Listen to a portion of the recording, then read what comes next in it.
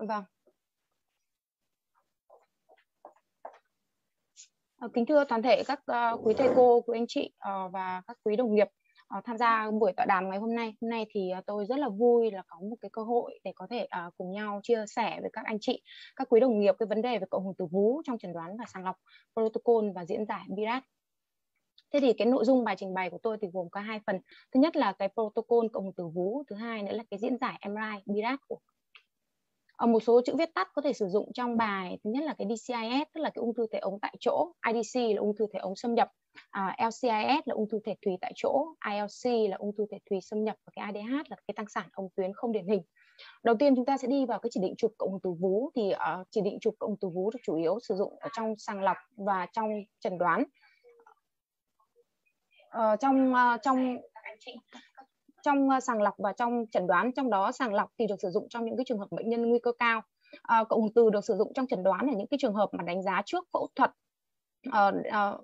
à, đánh giá trước phẫu thuật ở những cái bệnh nhân ung thư vú đã biết đánh giá đáp ứng điều trị hóa chất đánh giá tổn thương còn sót lại của những cái trường hợp ung thư tái phát, đánh giá những cái trường hợp có di căn hạch nách và cái không rõ cái khối u nguyên phát ở trong một số trường hợp khác, ví dụ những trường hợp bệnh nhân có chảy chảy dịch núm vú hoặc những cái trường hợp mà tổn thương không chắc chắn lành tính trên x quang hoặc trên siêu âm mà rất là khó để mà lấy mô bệnh phẩm. Xét xét nghiệm thì người ta có thể chỉ định chụp cộng hưởng từ và người ta dựa vào cái giá trị dự báo âm tính cao của cộng hưởng từ để có thể loại trừ tổn thương ác tính giúp tránh cho bệnh nhân một cái sinh thiết không cần thiết. Ngoài ra thì còn à, chỉ định à, của cộng hưởng từ còn được sử dụng trong cái trường hợp đánh giá cái sự toàn vẹn của túi ngực. Tuy nhiên là do cái khuôn khổ bài giảng có hạn cho nên là toàn bộ cái vấn đề của cộng từ ngày hôm nay thì tôi chỉ chập uh, tôi chỉ uh, chủ yếu tập trung vào cái vấn đề về sàng lọc và chẩn đoán và sẽ hẹn các bạn vào một cái buổi riêng về cái cộng từ của vú tạo hình. Uh, trước tiên là đi vào cái vấn đề sàng lọc của cộng từ vú thì uh, cộng từ vú được sàng lọc trong cho những cái đối tượng nguy cơ cao đặc biệt là những cái đối tượng mang đột biến gen ví dụ như là BRCA1, BRCA2 và một số các đột biến gen khác. Cái tỷ lệ phát hiện ung thư vú ở người mang đột biến gen BRCA1, BRCA2 là người ta tính toán là thấy là rơi vào khoảng 26.2 trên 1.000 người so sánh với tỷ lệ 5.4 trên 1.000 người ở những người có nguy cơ cao nhưng mà không có mang đột biến gen. Và đối với những cái trường hợp mà đối tượng nguy cơ cao này thì cái Hiệp hội Điện quang Hoa Kỳ khuyến cáo là chúng ta sử dụng X quang vú và cộng từ sàng lọc một năm một lần. À, trên đây là hình ảnh minh họa của một trường hợp bệnh nhân nữ 57 tuổi bệnh nhân này là một cái đối tượng nguy cơ cao. Trên cái hình ảnh mammo không được sâu ra ở đây thì uh, hình ảnh mammo hoàn toàn bình bình thường. Tuy nhiên là bệnh nhân này được chụp cái cộng từ để sàng lọc. Và trên hình ảnh uh, các cái chuỗi sung T2, T1 sau tiêm à, uh, MIP và cái hình ảnh trừ thì chúng ta thấy là có một cái nốt tổn thương ở bên vú phải uh, ngấm thuốc bờ không bờ không đều. Bệnh nhân này sau đó thì được sinh thiết dưới hướng dẫn của cộng từ và tổn thương này ra. Một cái kết quả giải phẫu bệnh là cái DCIS độ cao. Ờ, về cái đánh giá uh, uh, về cái đánh giá các cái tổn thương trước phẫu thuật ở những cái ung thư vú đã biết tuy là một cái tuy là một cái chỉ định rất hay gặp ở trên thực hành lâm sàng tuy nhiên thực tế là nó còn gây nhiều gây nhiều tranh, tranh cãi và có cái nhiều những cái khuyến cáo của các cái hiệp hội khác nhau. Ví dụ như uh, hiệp hội điện quang Hoa Kỳ năm 2018 hay khuyến cáo của NCNN năm 2018 thì khuyến cáo là cộng từ là một cái tùy chọn và khuyến khích được dùng để đánh giá sự lan rộng của khối u mối liên quan giữa khối u và mạc sâu đồng thời là giúp sàng lọc vú bên đối diện. Tuy nhiên theo Elsobi năm 2008 thì cộng từ trong những trường hợp này chủ yếu cho những trường hợp vú đặc, những trường hợp tổn thương LIC hoặc những trường hợp sàng lọc vú đối diện theo khuyến cáo của Elsoma thì uh, chủ yếu sử dụng cho những trường hợp bệnh nhân được chẩn đoán là L, uh, à, LIC, bệnh nhân có nguy cơ cao hoặc những cái bệnh nhân có sự khác biệt kích thước giữa X quang và siêu âm lớn hơn 1 cm hoặc là những cái trường hợp bệnh nhân đủ điều kiện để chiếu xạ một phần vú khuyến cáo của NICE 2018 và khuyến cáo của Hà Lan năm 2018 thì cũng ờ, khá là tương đồng với nhau. À, khuyến cáo là sử dụng chụp cộng hưởng từ ờ, để đánh giá trước phẫu thuật cho những cái trường hợp có sự khác biệt về lâm sàng, X quang và siêu âm. Những trường hợp vú đặc, những trường hợp à, ILC nếu có kế hoạch điều trị bảo tồn. À, theo cái khuyến cáo của Hà Lan năm 2018 thì còn có thêm là khuyến cáo cho những cái trường hợp mà tổn thương là DCIS độ cao nhưng không chắc chắn mức độ lan rộng hoặc DCIS có vi xâm lấn. Theo khuyến cáo của AGO năm 2018 thì cộng một từ đánh giá trước phẫu thuật sử dụng những trường hợp vú đặc, những trường hợp tổn thương liên quan đến núm vú, những trường hợp ILC, những trường hợp tổn thương nghi ngờ đa ổ và những trường hợp bệnh nhân nguy cơ cao. Người ta nhận thấy rằng là MRI là phương pháp đo kích thước tổn thương đáng tin cậy nhất và MRI có thể phát hiện thêm những tổn thương không thấy được trên hình ảnh xương và trên X-quang và cái việc này có thể giúp thay đổi chiến lược điều trị cho bệnh nhân À, đây là hình ảnh minh họa của một cái trường hợp sử dụng MRI để đánh giá trước phẫu thuật cho bệnh nhân. À, trên hình ảnh chụp uh, à, X quang tuyến vú bên trái chúng ta thấy là có một cái đám tổn thương rối loạn cấu trúc ở góc 1 phần tư dưới trong uh, của vú bên trái. Đây là cái hình C là hình ảnh chụp phóng đại cái tổn thương rối loạn cấu trúc này.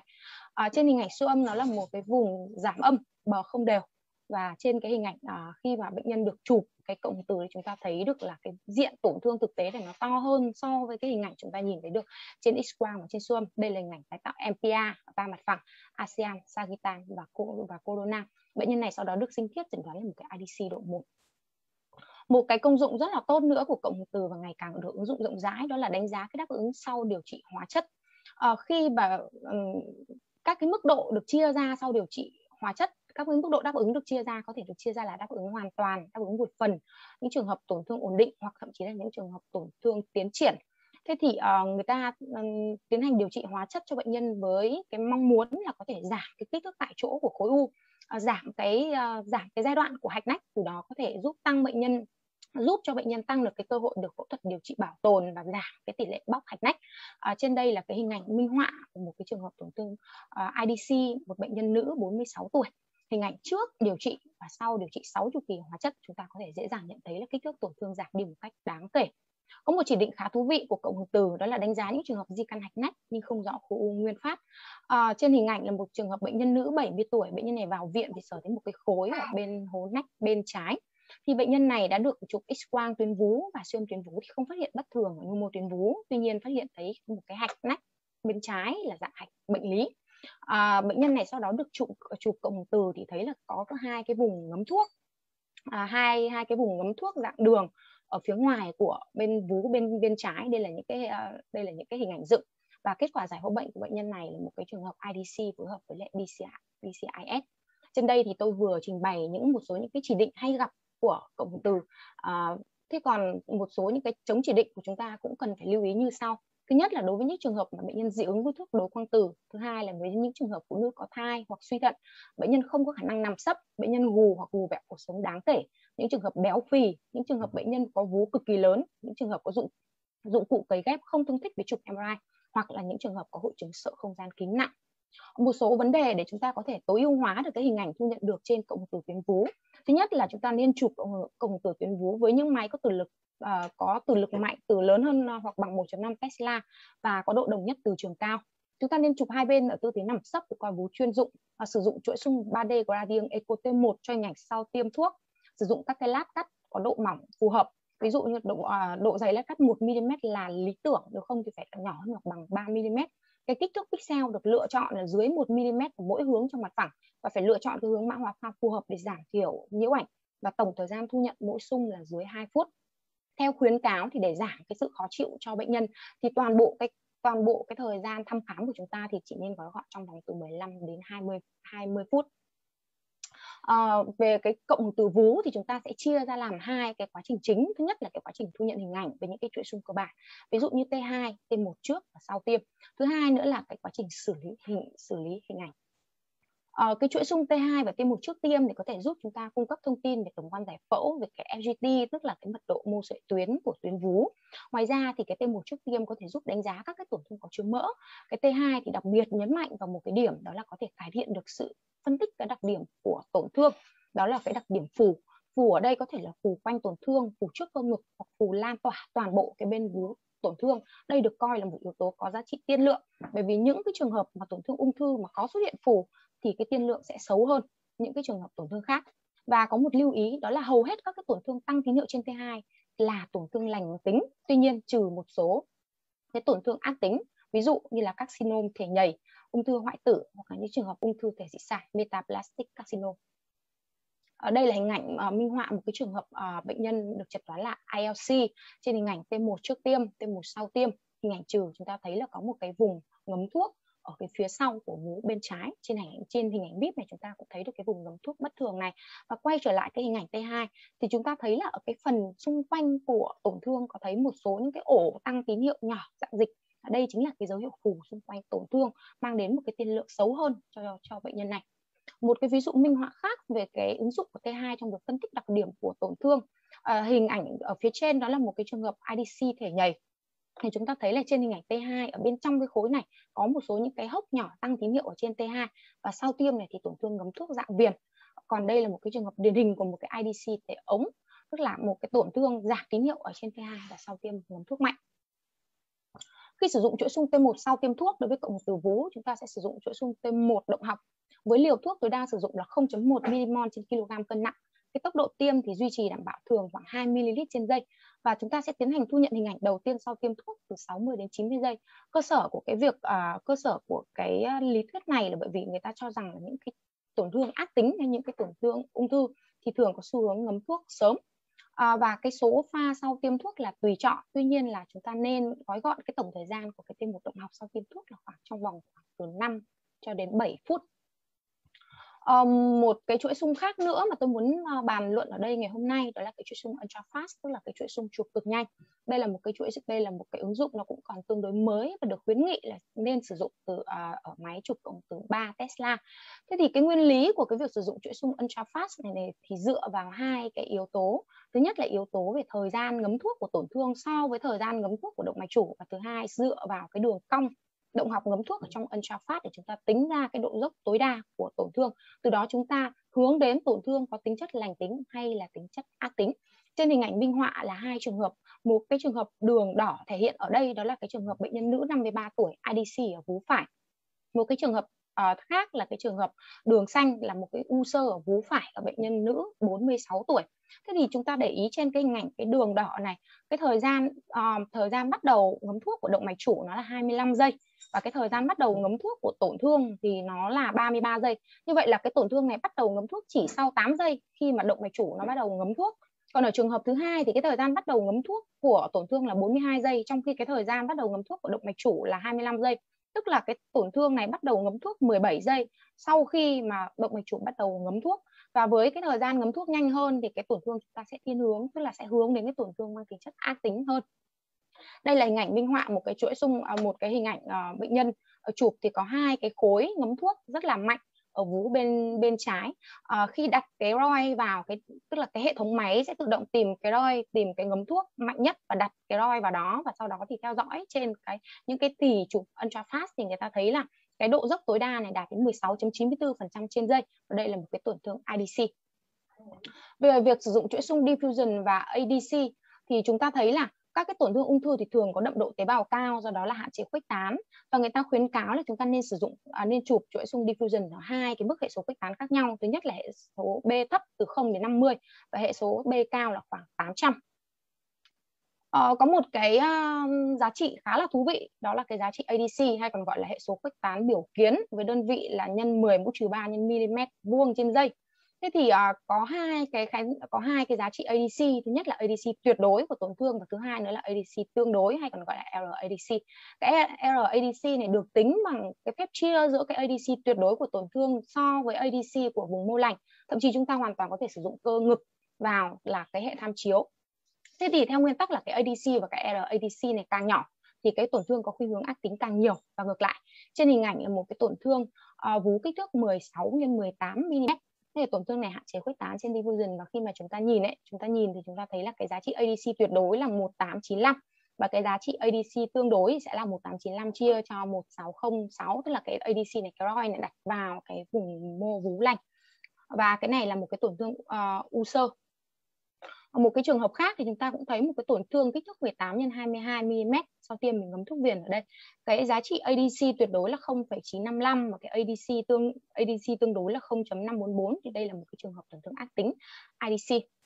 à, ờ, đây là một cái bảng tóm tắt những cái phần mà chúng ta có thể đánh giá được ở trên các cái chuỗi sung. Thứ nhất là chuỗi sung T1 gốc của chúng ta có thể đánh giá được cái mức độ à, cái cái ờ, mô sợi tuyến của vú thứ hai là trên cái tiêu mục sau tiêm chúng ta sẽ có thể đánh giá được cái tín hiệu nền, đánh giá được các cái tổn thương dạng khối hay không phải dạng khối. Trên cái chuỗi xung t một động học hay còn gọi là t một dynamic, chúng ta sẽ đánh giá được đường cong tín hiệu theo thời gian dựa vào hai pha pha ban đầu và pha muộn. Trên cái chuỗi xung ultra fast thì chúng ta sẽ đánh giá đường cong dòng chảy với hai cái chỉ số thứ nhất là cái thời gian ngấm thuốc, tiếp theo nữa là độ dốc tối đa. Theo nguyên tắc là thời gian ngấm thuốc càng sớm, độ dốc tối đa càng lớn, tổn thương có thiên hướng à, thì cái tổn thương có thiên hướng ác tính càng nhiều. Trên hình ảnh T2 chúng ta sẽ đánh giá được tín hiệu tổn thương trên T2 và đánh giá được cái dấu hiệu phù là cái dấu hiệu mang yếu tố tiên lượng tôi đã trình bày ở slide trước. Trên hình ảnh uh, chuỗi xung diffusion chúng ta sẽ đánh giá mức độ khuếch tán của tổn thương mà chúng ta được định lượng bằng hệ số khuếch tán biểu kiến ADC. À, ờ, sau đó thì chúng ta sẽ uh, chia các cái, uh, chia ra các cái mức độ khác nhau và nguyên tắc là ADC càng thấp thì cái tổn thương có thiên hướng ác tính càng nhiều và có một cái lưu ý nhỏ nữa là cái điểm cắt off của ADC thì thực ra thì nó không phải là thống nhất giữa tất cả các cái tài liệu. Tuy nhiên là người ta thường chọn cái điểm cắt off là rơi vào tầm khoảng 1.1 đến 1.4 trên 10 mũ trừ 3 mm vuông trên giây để làm cái điểm cắt off. Dưới cái điểm này thì nghi ngờ nhiều đến tổn thương ác tính và trên cái điểm này thì nghi ngờ đến những tổn thương lành tính. Trên thực tế thì hiện nay thì không có một cái protocol nào là thống nhất cho toàn bộ các cái bệnh viện hay các cái trung tâm khi thu nhận hình ảnh chụp cộng hưởng từ vú. À, cái việc mà lập xác lập protocol phụ thuộc ờ, phụ thuộc vào cái cấu hình máy và phụ thuộc vào từng cái điều kiện cụ thể của từng trung tâm. À, trên đây là một cái protocol tham khảo. À, chúng à, người ta sử dụng cái chuỗi xung T2 trước tiêm diffusion T1 trước tiêm sau đó người ta tiêm thuốc sử dụng ghi hình chuỗi xung ultrafast và sau đó sử dụng bốn cái chuỗi xung T1 động học ngấm thuốc. Ở đây thì tôi muốn dừng lại một chút để nói về cái việc khác biệt giữa chụp cộng từ sàng lọc và chụp cộng từ chẩn đoán thế thì bởi vì yêu cầu của một cái phương pháp sàng lọc tức là nó phải nhanh, nó phải tiết kiệm chi phí và có thể ứng dụng được đại trà. Cho nên là ngày nay thì người ta đang có xu hướng là sử dụng một cái protocol, gọi là protocol vắn tắt để mà có thể sử dụng trong chụp cộng từ sàng lọc. Vắn tắt ở đây tức là người ta vẫn chụp gần như đầy đủ các cái chuỗi xung trước tiêm. Tuy nhiên là cái động học sau tiêm thì người ta thường chỉ thu nhận hai cái chuỗi xung động học sau tiêm mà thôi đó là cái về cái phần thu nhận hình ảnh. Tiếp theo là về cái phần xử lý hình ảnh thì chúng ta có những cái công cụ xử lý chính. Sau đây thứ nhất là cái hình ảnh trừ subtraction. Thứ hai nữa là cái mip từ dữ liệu hình ảnh trừ. Thứ ba nữa là tái tạo đa mặt phẳng mpa thứ tư là xây dựng bản đồ ngấm thuốc dựa trên đa điểm thu nhận hình ảnh theo thời gian. Thứ năm là xây dựng đường cong động học ngấm thuốc cho những cái tổn thương ngấm thuốc nghi ngờ. Đây là hình ảnh minh họa một cái tổn thương uh, một cái tổn thương ở vú bên trái trên hình ảnh trước tiêm thì chúng ta cũng không thấy rõ rệt trên cái hình ảnh sau tiêm thấy một cái vùng ngấm thuốc ở trên cái hình ảnh subtraction hình ảnh trừ chúng ta thấy nổi bật hơn cái vùng tổn thương của chúng ta ở đây. Đây là hình ảnh mít tại thời điểm 70 giây sau tiêm thuốc một cái tổn thương vú phải ngấm thuốc rất là mạnh. Đây là hình ảnh dựng MPA à, của vẫn cái tổn thương vú phải đó ở các cái hình ở, ở các cái mặt phẳng khác nhau ASEAN, Sagittan và Corona. À, đây là cái hình ảnh à, một cái tổn thương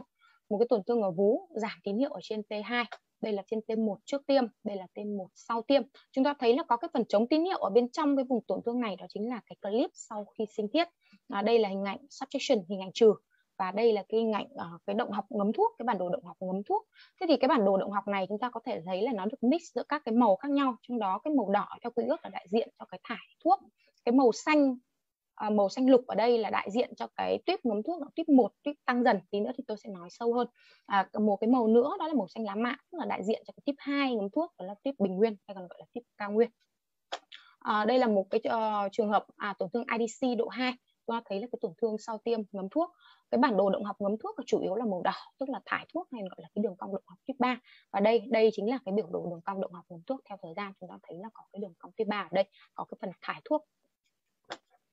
uh, có một điều uh, cũng rất là thú vị nữa đối với cái cộng từ tuyến vú khiến cho nó đôi đôi khi người ta gọi là nó cũng trở nên khá là bí ẩn. Đó là cái việc mà cùng là một cái tổn thương ung thư tuy nhiên có thể thể hiện các cái đặc điểm của thuốc rất khác nhau. Ví dụ trên hình ảnh minh họa là cùng là tổn thương IDC tuy nhiên cái tổn thương phía trên này có cái đậm độ vi mạch cao do vậy mà tổn thương ngấm thuốc rất mạnh. Và trên cái bản đồ động học cũng như là đường cong động học thể hiện rõ là cái ngấm thuốc ưu thế là thải thuốc. Tuy nhiên là cũng là ADC nhưng ở cái tổn thương có đậm độ vi mạch thấp hơn thì chúng ta thấy là cái phần tổn thương này sau ngấm không quá mạnh và cái tính chất ngấm thuốc chủ yếu là ngấm thuốc tăng dần liên tục và cái ngấm thuốc dạng tuyết một và cái đường cong động học cũng là đường cong động học đi lên dạng tuyết một. Đó là cái phần một của cái bài trình bày này. Tiếp theo thì tôi sẽ đi vào cái phần diễn giải à, MRI và BiRAP cái phần này thì chúng ta cũng có thể tham khảo thêm trong cái quyển uh, Atlas uh, Atlas BiRAP uh, ờ, năm 2013 đầu tiên là khi mà đánh giá một cụm từ chúng ta sẽ phải đánh giá với các cái số lượng mô sợi tuyến. Chúng ta sẽ phân chia là hầu hết là mỡ giải rác mô sợi tuyến mô sợi tuyến không đồng nhất hay hầu hết là mô sợi tuyến. Sau đó chúng ta phải đánh giá cái mức độ ngấm thuốc mô nền ở hai cái khía cạnh. Thứ nhất là mức độ thứ hai là tính chất đối xứng hay không đối xứng. Ví dụ trên hình ảnh này là cái mô à, đây là hình ảnh minh họa của các mức độ mô sợi tuyến khác nhau. Cái này là chủ yếu là mỡ cái này giải rác có mô sợi tuyến mô sợi tuyến không đồng nhất hay là gần như hoàn toàn là mô sợi tuyến. Đây là hình ảnh minh họa các cái ngấm thuốc nền của nhu mô vú bao gồm ngấm thuốc tối thiểu ngấm thuốc nhẹ ngấm thuốc uh, trung bình và ngấm thuốc một cách đáng kể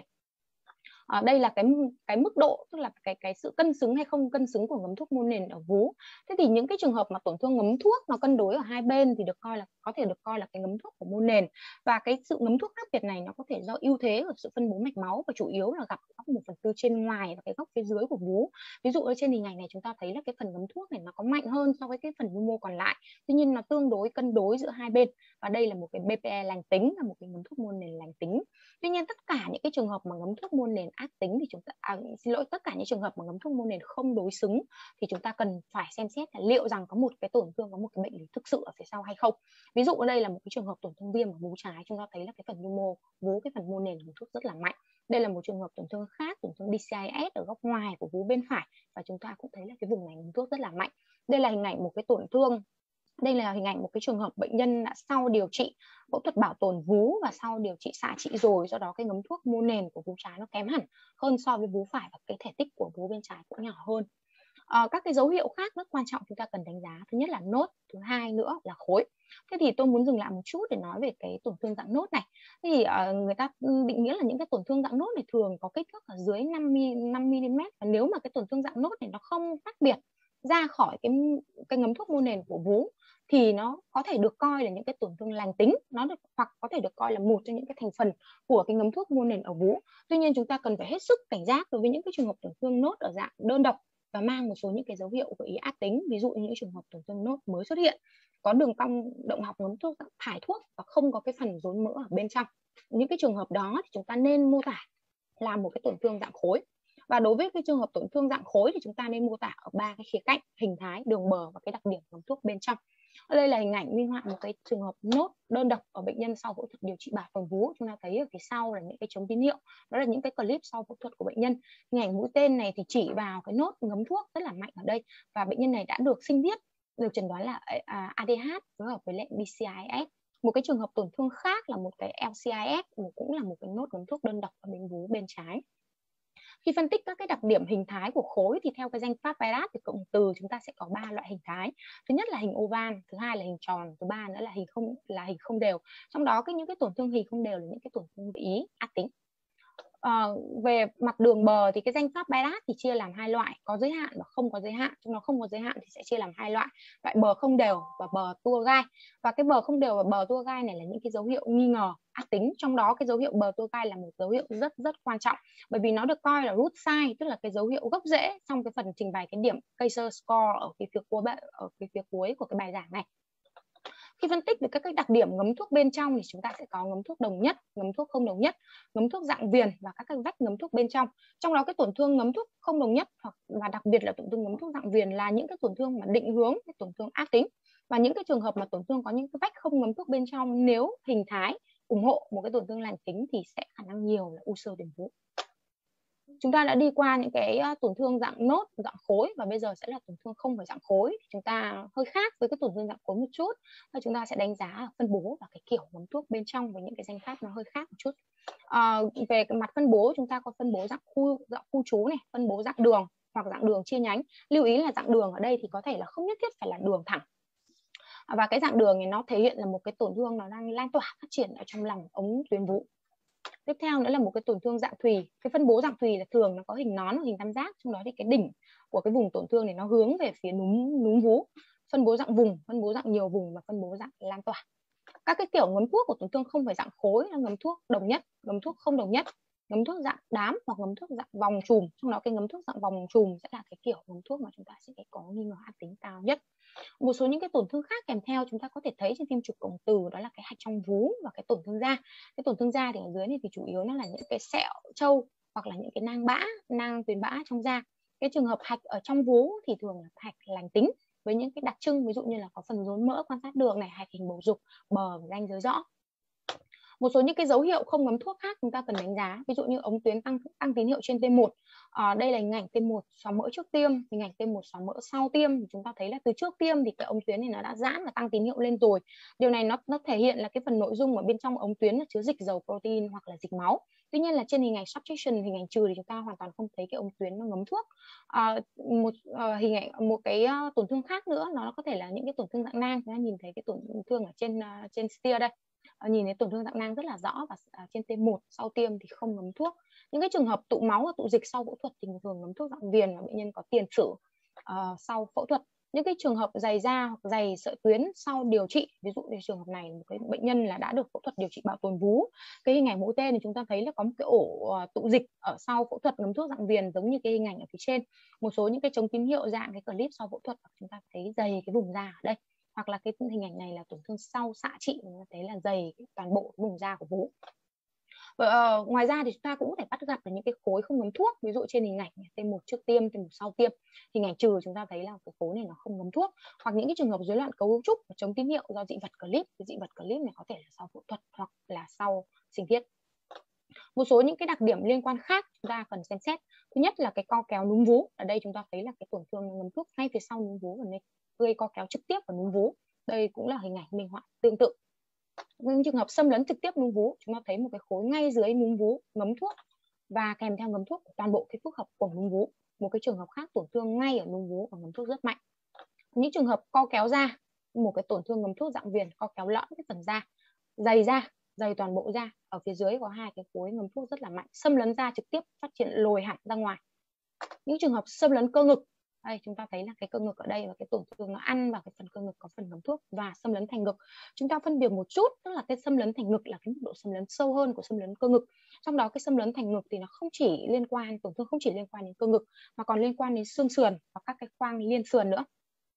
Những trường hợp hạch nách ví dụ ở đây một cái tổn thương ngấm thuốc ở phía trước và những cái trường hợp hạch bệnh lý ở phía sau. Những trường hợp rối loạn cấu trúc một cái tổn thương uh, bờ tua gai co kéo kèm theo dày toàn bộ cái phần da vú và cái này làm biến dạng toàn bộ cái cấu trúc của vú bên này. Ở cái vú còn lại chúng ta thấy là cái mật độ ngấm thuốc của mô nền rất là rất là mạnh bởi vì bệnh nhân này là một bệnh nhân đang cho con bú một số những cái tổn thương khác mà chúng ta cần đánh giá ví dụ những cái trường hợp hạch thì có thể là hạch lành tính là hạch có thể hiện à, rốn mỡ này hình thận hình bầu dục này bờ đều răng dưa rõ. Hoặc là hạch thứ phát ví dụ như là hạch ừ, ngực trong này hạch cố nách này là những cái hạch nó mất đi những cái đặc điểm lành tính. Những, những cái trường hợp hoại tử mỡ hoặc là những cái trường hợp hamatom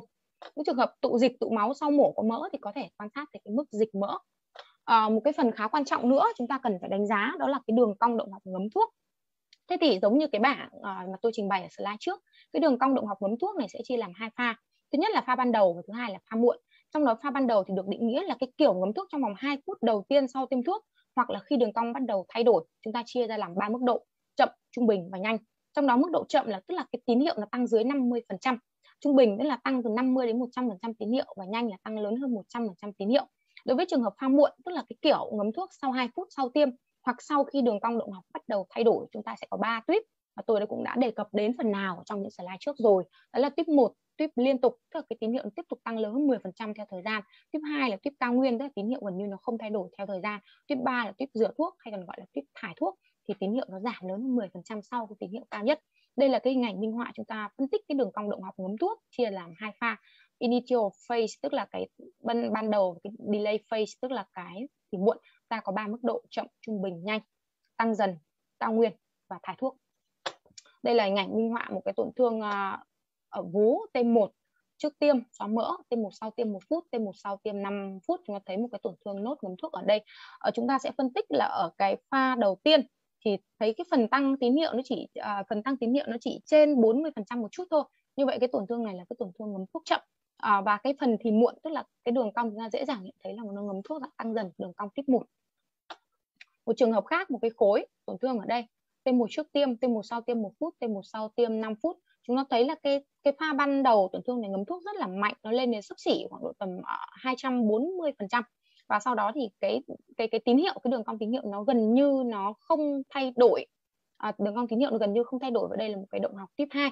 Tiếp theo nữa là một cái khối uh, cũng là T1 trước tiêm T1 sau tiêm 1 phút T1 sau tiêm 5 phút. Chúng ta thấy là ở cái pha ban đầu thì cũng ngấm thuốc rất là nhanh cái phần uh, nó tăng đến hơn 200% tín hiệu. Và cái pha ở cái cái cái thì muộn thì thấy rất rõ là cái đường cong động học thải thuốc. Thì thông thường là những cái đường cong động học tiếp 1 thì là cái đường cong động học là thiên về tổn thương lành tính. Đường cong động học tuyếp 3 là thiên về tổn thương ác tính. Còn cái đường cong động học tuyếp 2 thì cũng có thể gặp cả trong tổn thương lành tính và gặp cả trong cái tổn thương ác tính. Thế thì cũng giống như các cái trường hợp mà khi chúng ta đánh giá trên siêu âm và trên x quang sau khi mà diễn giải các cái ngành trục cộng từ thì chúng ta cần phải đưa nó về một cái phân loại BIRAT trong đó thì có từ BIRAT 0 đến BIRAT 6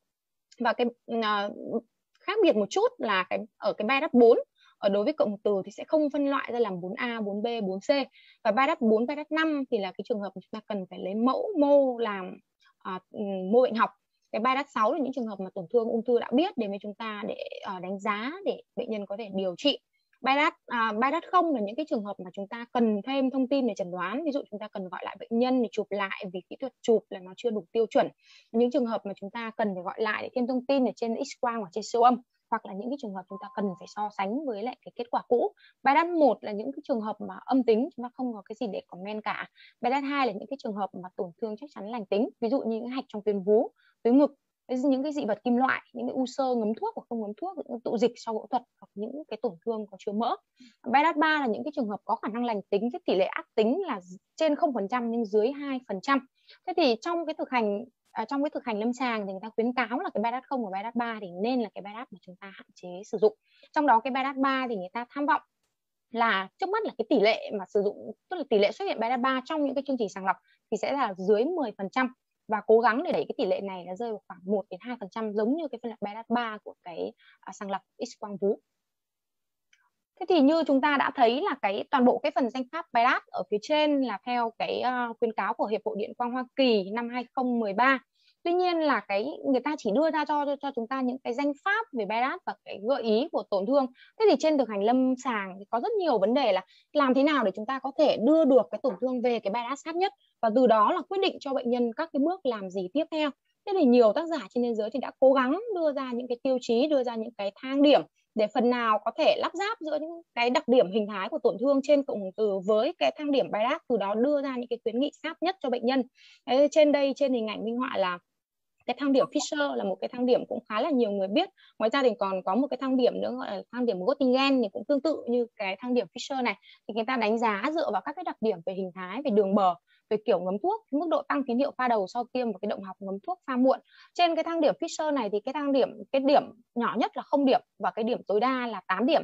Điểm càng cao thì cái ờ, cái cái bias càng cao và cái khả năng ác tính càng nhiều. Ví dụ như là cái điểm từ 0 đến 1 tức là bài bias 1 2 điểm là bài bias 2 3 điểm là bài bias 3 rồi 4 đến 5 điểm là bài bias 4 và từ 6 đến 8 điểm là bài bias 5 tuy nhiên là cái Fisher này cái thang điểm Fisher này hoặc là cũng cái thang điểm Göttingen thì chủ yếu là áp dụng cho những cái tổn thương dạng khối thế cái vấn đề của chúng ta nữa là cái vấn đề đấy, như vậy những tổn thương không phải dạng khối thì chúng ta sẽ làm thế nào? Thế thì người ta còn sử dụng theo một cái thang điểm nữa, đó là cái thang điểm Kaiser. Cái thang điểm cây sơ này thì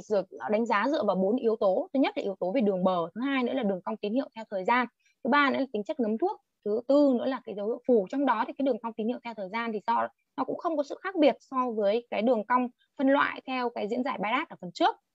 Cho nên là tôi sẽ không trình bày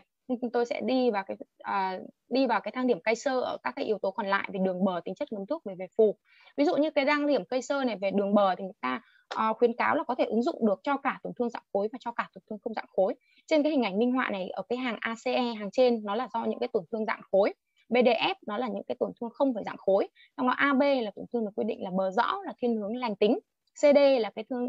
à, CD là những cái trường hợp mà tổn thương bờ thương à, CD là những cái trường hợp mà tổn thương bờ nó không được rõ và có nguy cơ ác tính trung bình. Và EF là những cái trường hợp mà nguy cơ cao bởi vì có cái bờ dạng tua gai. Về cái tính chất ngấm thuốc thì với cái loại ngấm thuốc đồng nhất và ngấm thuốc ở trung tâm thì sẽ thiên về tổn thương lành tính. À, hình A là hình minh họa của một cái tổn thương ngấm thuốc đồng nhất dạng khối và cái hình ở cái hình cái hàng ở phía dưới là cái tổn thương ngấm thuốc không phải dạng khối. À, thế thì cái tổn thương ngấm thuốc đồng nhất thực ra nó là cũng là một cái khái niệm tương đối thôi. Đồng nhất không phải là đồng nhất hoàn toàn 100% ở trong tổn thương chỗ nào cũng giống như chỗ nào mà trong cái vùng tổn thương đó chúng ta có thể bắt gặp đâu đó một cái vùng tổn thương ngấm thuốc ít hơn do có do có cái vách ngăn hoặc do có cái thành phần sơ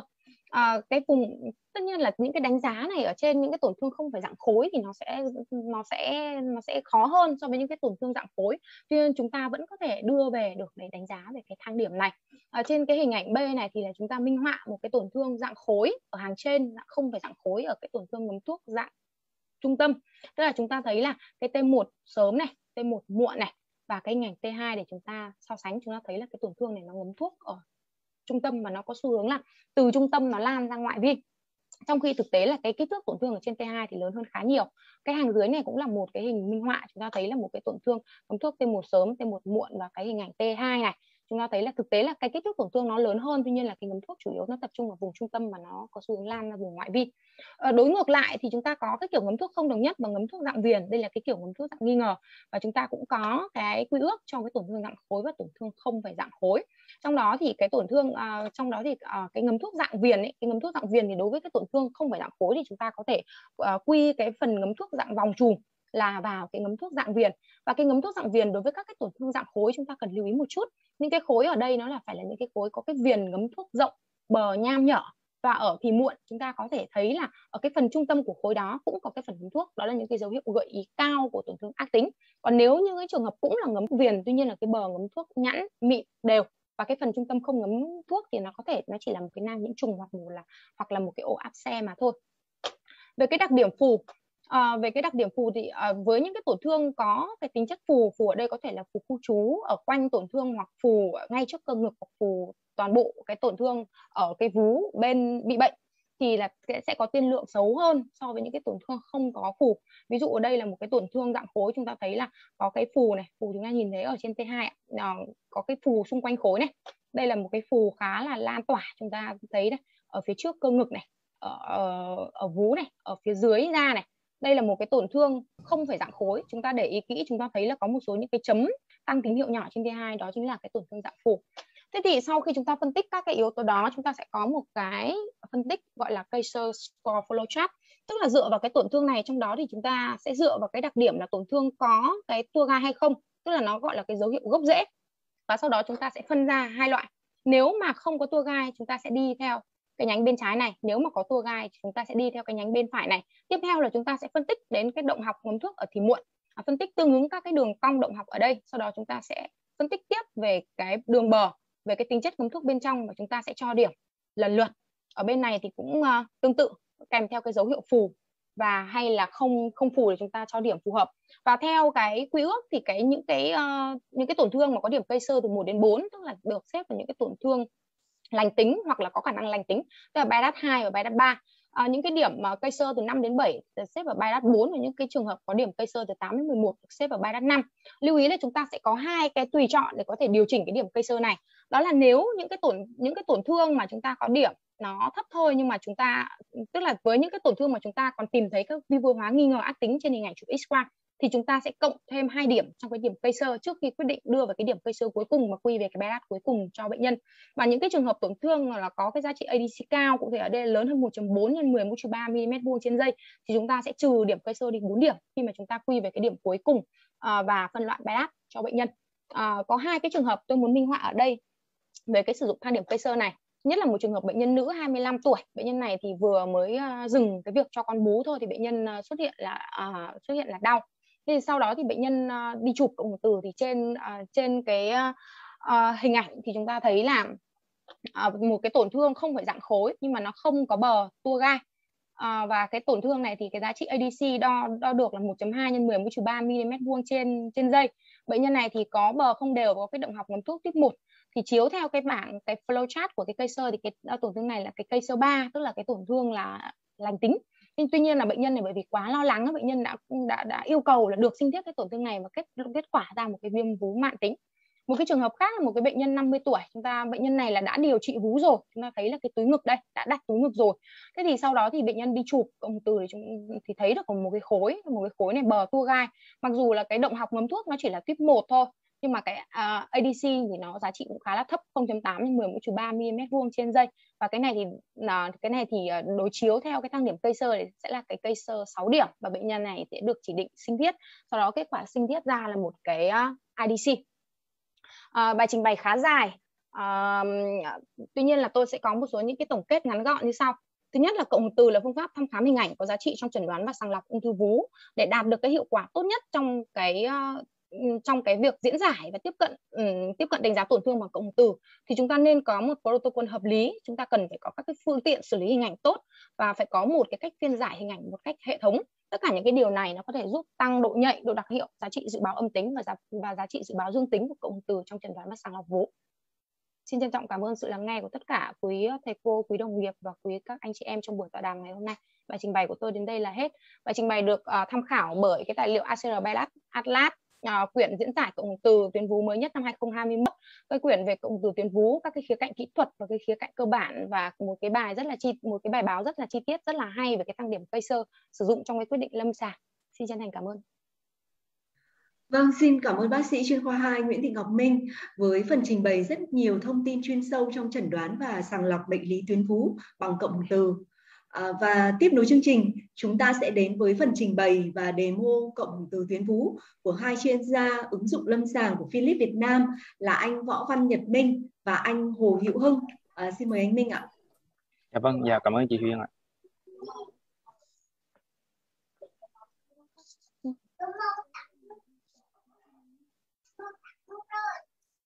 Dạ rồi ạ. Dạ có ai có thấy uh, slide của em chưa? Dạ thấy rồi ạ. Dạ rồi, anh xin. Thưa cô và các quý vị đồng nghiệp, sau đây thì tôi xin phép được um, trình bày về bài trình bày của tôi ạ, hướng tới um, kỷ nguyên mới trong trường cộng hưởng từ vú. Thì uh, trước hết thì chúng ta đã thấy là cái tỷ lệ ung thư vú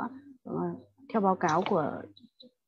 hôm 3 năm 2000 á, thì tỷ lệ ung thư vú vẫn là một trong những cái ung thư có tỷ lệ mắc mới khá cao và tỷ lệ tử vong vẫn là một trong những uh,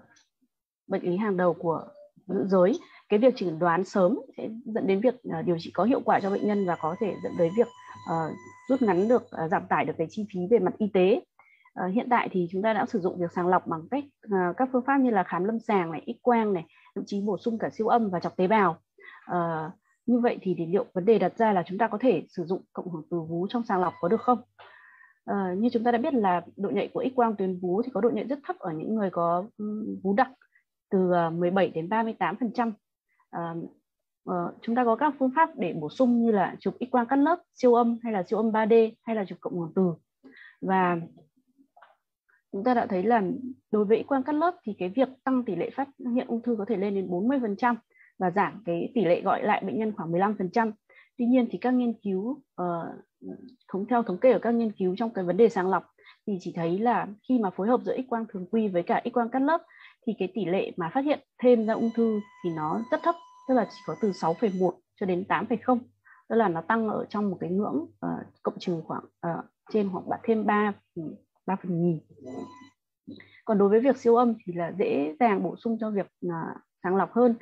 Uh, cái uh, kỹ thuật này thì thực hiện được tốt hơn uh, dễ thực hiện ở các cơ sở giá cũng rẻ hơn. Tuy nhiên thì cái tỷ lệ phát hiện thêm nó cũng chỉ đến khoảng 3 đến 4 phần nghìn và cái hạn chế của siêu âm thì là cái độ đặc hiệu thấp. Vì vậy mà nó có thể dẫn đến những cái trường hợp uh, dương tính giả hoặc là những cái dẫn dẫn đến bệnh nhân phải sinh thiết quá mức và uh, hoặc là cái yếu tố là nó phụ thuộc vào người làm phụ thuộc vào máy móc và làm tăng cái tỷ lệ những các số ca ung thư vú cần phải theo dõi. Uh, vậy thì cái phương pháp nào thích hợp cho những bệnh nhân có tuyến vú rất là đặc trong cái vấn đề sàng lọc? Thì như chúng ta đã thấy đây là cái ảnh trên ảnh x quang, và đây gần như là không thấy phát hiện thấy một tổn thương nào ở trên x quang. Ngoại trừ một chút một chút phần hơi tăng đậm độ bất xứng nhẹ ở phía một phần tư trên ngoài của vú bên trái. Tuy nhiên thì trên cộng hưởng từ chúng ta thấy là một cái vùng ngấm thuốc rất là mạnh và có tăng sinh mạch. Như vậy là trên cái x quang này chúng ta đã bỏ sót hẳn một cái khối u, ung thư vú rất là to. Nhưng trên cộng hưởng từ thì chúng ta lại phát hiện ra dễ dàng và kèm theo những cái nốt vệ tinh xung quanh cái khối đó cái sự phát hiện à, ung thư vú ở cái nhóm đối tượng có nguy cơ cao thì một số nghiên cứu có những cái nghiên cứu đã chỉ ừ, như là nghiên cứu của Dung năm 2016 thì trên cái một à, uh, 7.519 bệnh nhân có nguy cơ cao thì cho thấy là cái việc mà sử dụng x quang tuyến vú và kèm với cả cái việc uh, chụp cộng hưởng từ thì thấy là cái việc phát hiện uh, các khối u ở trên cộng hưởng từ thì cao hơn hẳn cái cột màu xanh này là cái các số ca phát hiện được trên cộng hưởng từ và cái cột màu đỏ thì là số ca phát hiện được ở trên cái uh, trên x quang. Và cái cột ừ, màu xanh da trời à màu xanh lá cây này là những cột mà chúng ta bị bỏ sót. Thì chúng ta thấy rằng là ở cái nhóm DCIS tức là tại chỗ uh, cái độ ác tính rất là thấp thì cái nhóm x quang và cái nhóm cộng hưởng từ cái tỷ lệ phát hiện ra không không không chênh lệch nhiều. Tuy nhiên ở những cái nhóm như là có cái độ uh, mô học trung bình ạ. À, hoặc là những cái độ mô học cao hơn chúng ta nhìn thấy có sự khác biệt dần giữa cái giá trị của việc sử dụng cộng hưởng từ như là trong cái quen. Và trên cộng hưởng từ thì chúng ta phát hiện ra rất là rõ những cái ca mà nó là vi xâm nhập hay những ca mà ung thư xâm nhập nhưng mà cái độ mô học rất là thấp. Tại sao vậy? Tại vì trong những cái ca mà cái độ mô học thấp này thì chúng ta sẽ thấy là cái đậm độ của cái khối tăng trên mamo không phải là nhiều. Bởi vậy mà trên mamo dễ dàng bỏ sót và có rất nhiều nghiên cứu đã chỉ ra rằng cái việc và phối hợp giữa cái uh, phim x quang và phim cộng hưởng từ vú thì là cho cái giá trị uh, chuẩn đoán được cao nhất. Đây là trong trường hợp mà uh, trên 687 bệnh nhân sáng lọc thì x quang chỉ phát hiện ra có 5,4% à, siêu âm chỉ là 6% nếu phối hợp cả x quang và siêu âm thì cái tỷ lệ phát hiện ra có 7,7% nhưng tuy nhiên là nếu chỉ sử dụng uh, uh, cộng hưởng từ thì cũng chỉ có 15% và nếu phối hợp thêm cả cộng hưởng từ và x quang thì cho giá trị uh, cao nhất là 16% uh, tương đương với cả việc cả sử dụng cả x quang cộng hưởng từ và siêu âm từ và uh, một cái nghiên cứu khác của Kuhn năm 2007 trên hơn 2.000 bệnh nhân có nguy cơ cao mà có x quang và siêu âm vú bình thường uh, với 300 uh, 3.161 ca cộng uh, bên vú được chụp cộng hưởng từ thì cái phát hiện ra thêm được 60 ca ung thư trong đấy thì có 20 ca tại chỗ và 40 ca đã là tổn thương xâm nhập. Tuy nhiên cái kích thước u trung bình chỉ có 8 mm và đều ở giai đoạn T1 rất là sớm đối với bệnh nhân. Vậy thì cái vấn đề đặt ra là có hiệu quả trong việc sử dụng cộng hưởng từ vú uh, trong việc sàng lọc. Tuy nhiên thì hiện nay uh, các vấn đề về giá cả thời gian cũng như là thời gian xử lý uh, đó đã làm giảm cái việc mà bệnh nhân được tiếp cận với cái phương pháp uh, chuẩn đoán này. Và cái vấn đề là chúng ta có thể uh, trong tương lai thì chúng ta có thể sử dụng uh, các uh, ứng dụng về công nghệ như là hai bài trình bày của trước của hãng Philips ạ để uh, hỗ trợ cho việc thời gian xử lý hình ảnh uh, và thời gian chụp. Uh, và cái việc mà cộng thường giá thì có thể chúng ta sẽ dần dần được uh, được giảm xuống.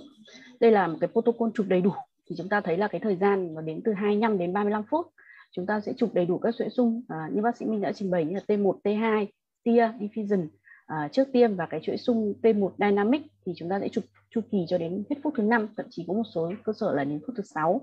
Chúng ta sẽ cần một cái chuỗi sung uh, ờ, T1 sau tiêm độ phân giải cao để tái tạo các hướng và một chuỗi hướng sagittal nhưng cái protocol nhanh uh, có thể trong tương lai được áp dụng thì chúng ta chỉ cần T2 T1 trước tiêm uh, và T1 sau tiêm chúng ta chỉ chụp hai chu kỳ sau 2 phút hoặc là đến 3 phút. Um, và chúng ta sẽ chụp thêm một cái chuỗi sung division sau tiêm. Thế thì nghiên cứu của cô năm 2004 ở trong cái số lượng bệnh nhân là gần 500 ca thì đã thấy là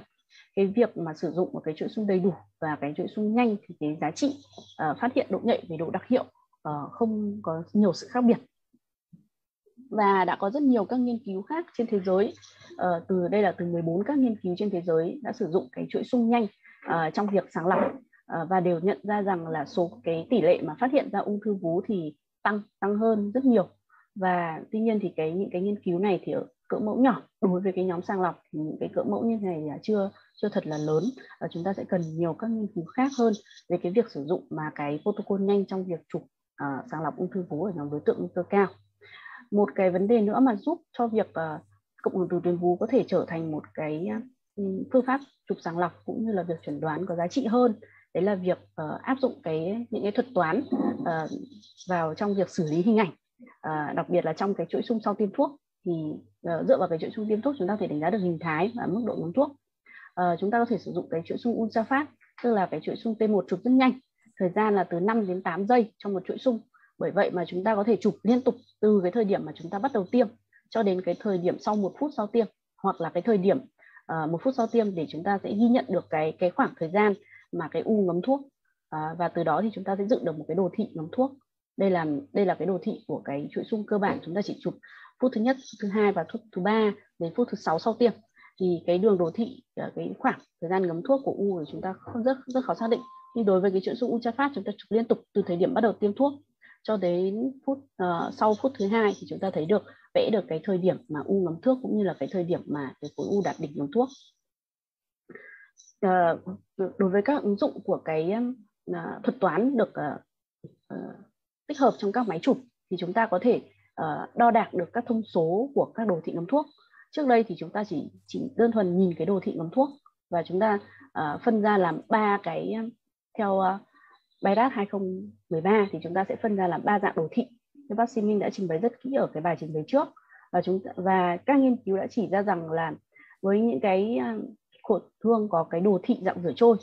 thì cái tỷ lệ ung thư gặp đến 85%. Tuy nhiên là những cái trường hợp khác chúng ta vẫn có thể bỏ sót các những u riêng uh, đồ thị dạng cao nguyên thì có thể đến 40% các ung thư vú thường gặp. Và cái đồ thị tích lũy thì thường gặp ừ, gặp ở nhóm lành tính. Tuy nhiên thì cũng có thể gặp 10% cái bệnh lý về ung thư ở nhóm đồ thị này. Uh, cái việc mà sử dụng cái đồ thị thì chúng ta uh, bằng mắt thường thì sẽ có điểm hạn chế về việc chúng ta đo thủ công. Và thứ hai là chúng ta không được rõ ràng về các thông số uh, với việc sử dụng các thuật toán thì chúng ta người ta đã đưa ra năm cái thông số mà có thể giúp chúng ta đo đạc được cái đồ thị ngấm thuốc. Đấy là cái thông số về thời gian đạt đỉnh tức là từ cái thời điểm bắt đầu tiêm thuốc cho đến lúc mà cái khối u đạt đỉnh ngấm thuốc cao nhất. À, cái thời gian mà à, khối u bắt đầu ngấm thuốc đây là cái thời gian mà cái khối u bắt đầu ngấm thuốc cho thời điểm tiêm thuốc. À, cái thời gian mà cái khoảng cái độ dốc tức là cái cái đường tịnh tiến của cái đồ thị ngấm thuốc đạt cái độ cái độ dốc cao nhất. À, hay là cái à, cái khoảng cái khoảng à, cái khoảng đồ thị dưới đường cong ngấm thuốc và cái tỷ lệ ngấm thuốc. Đấy.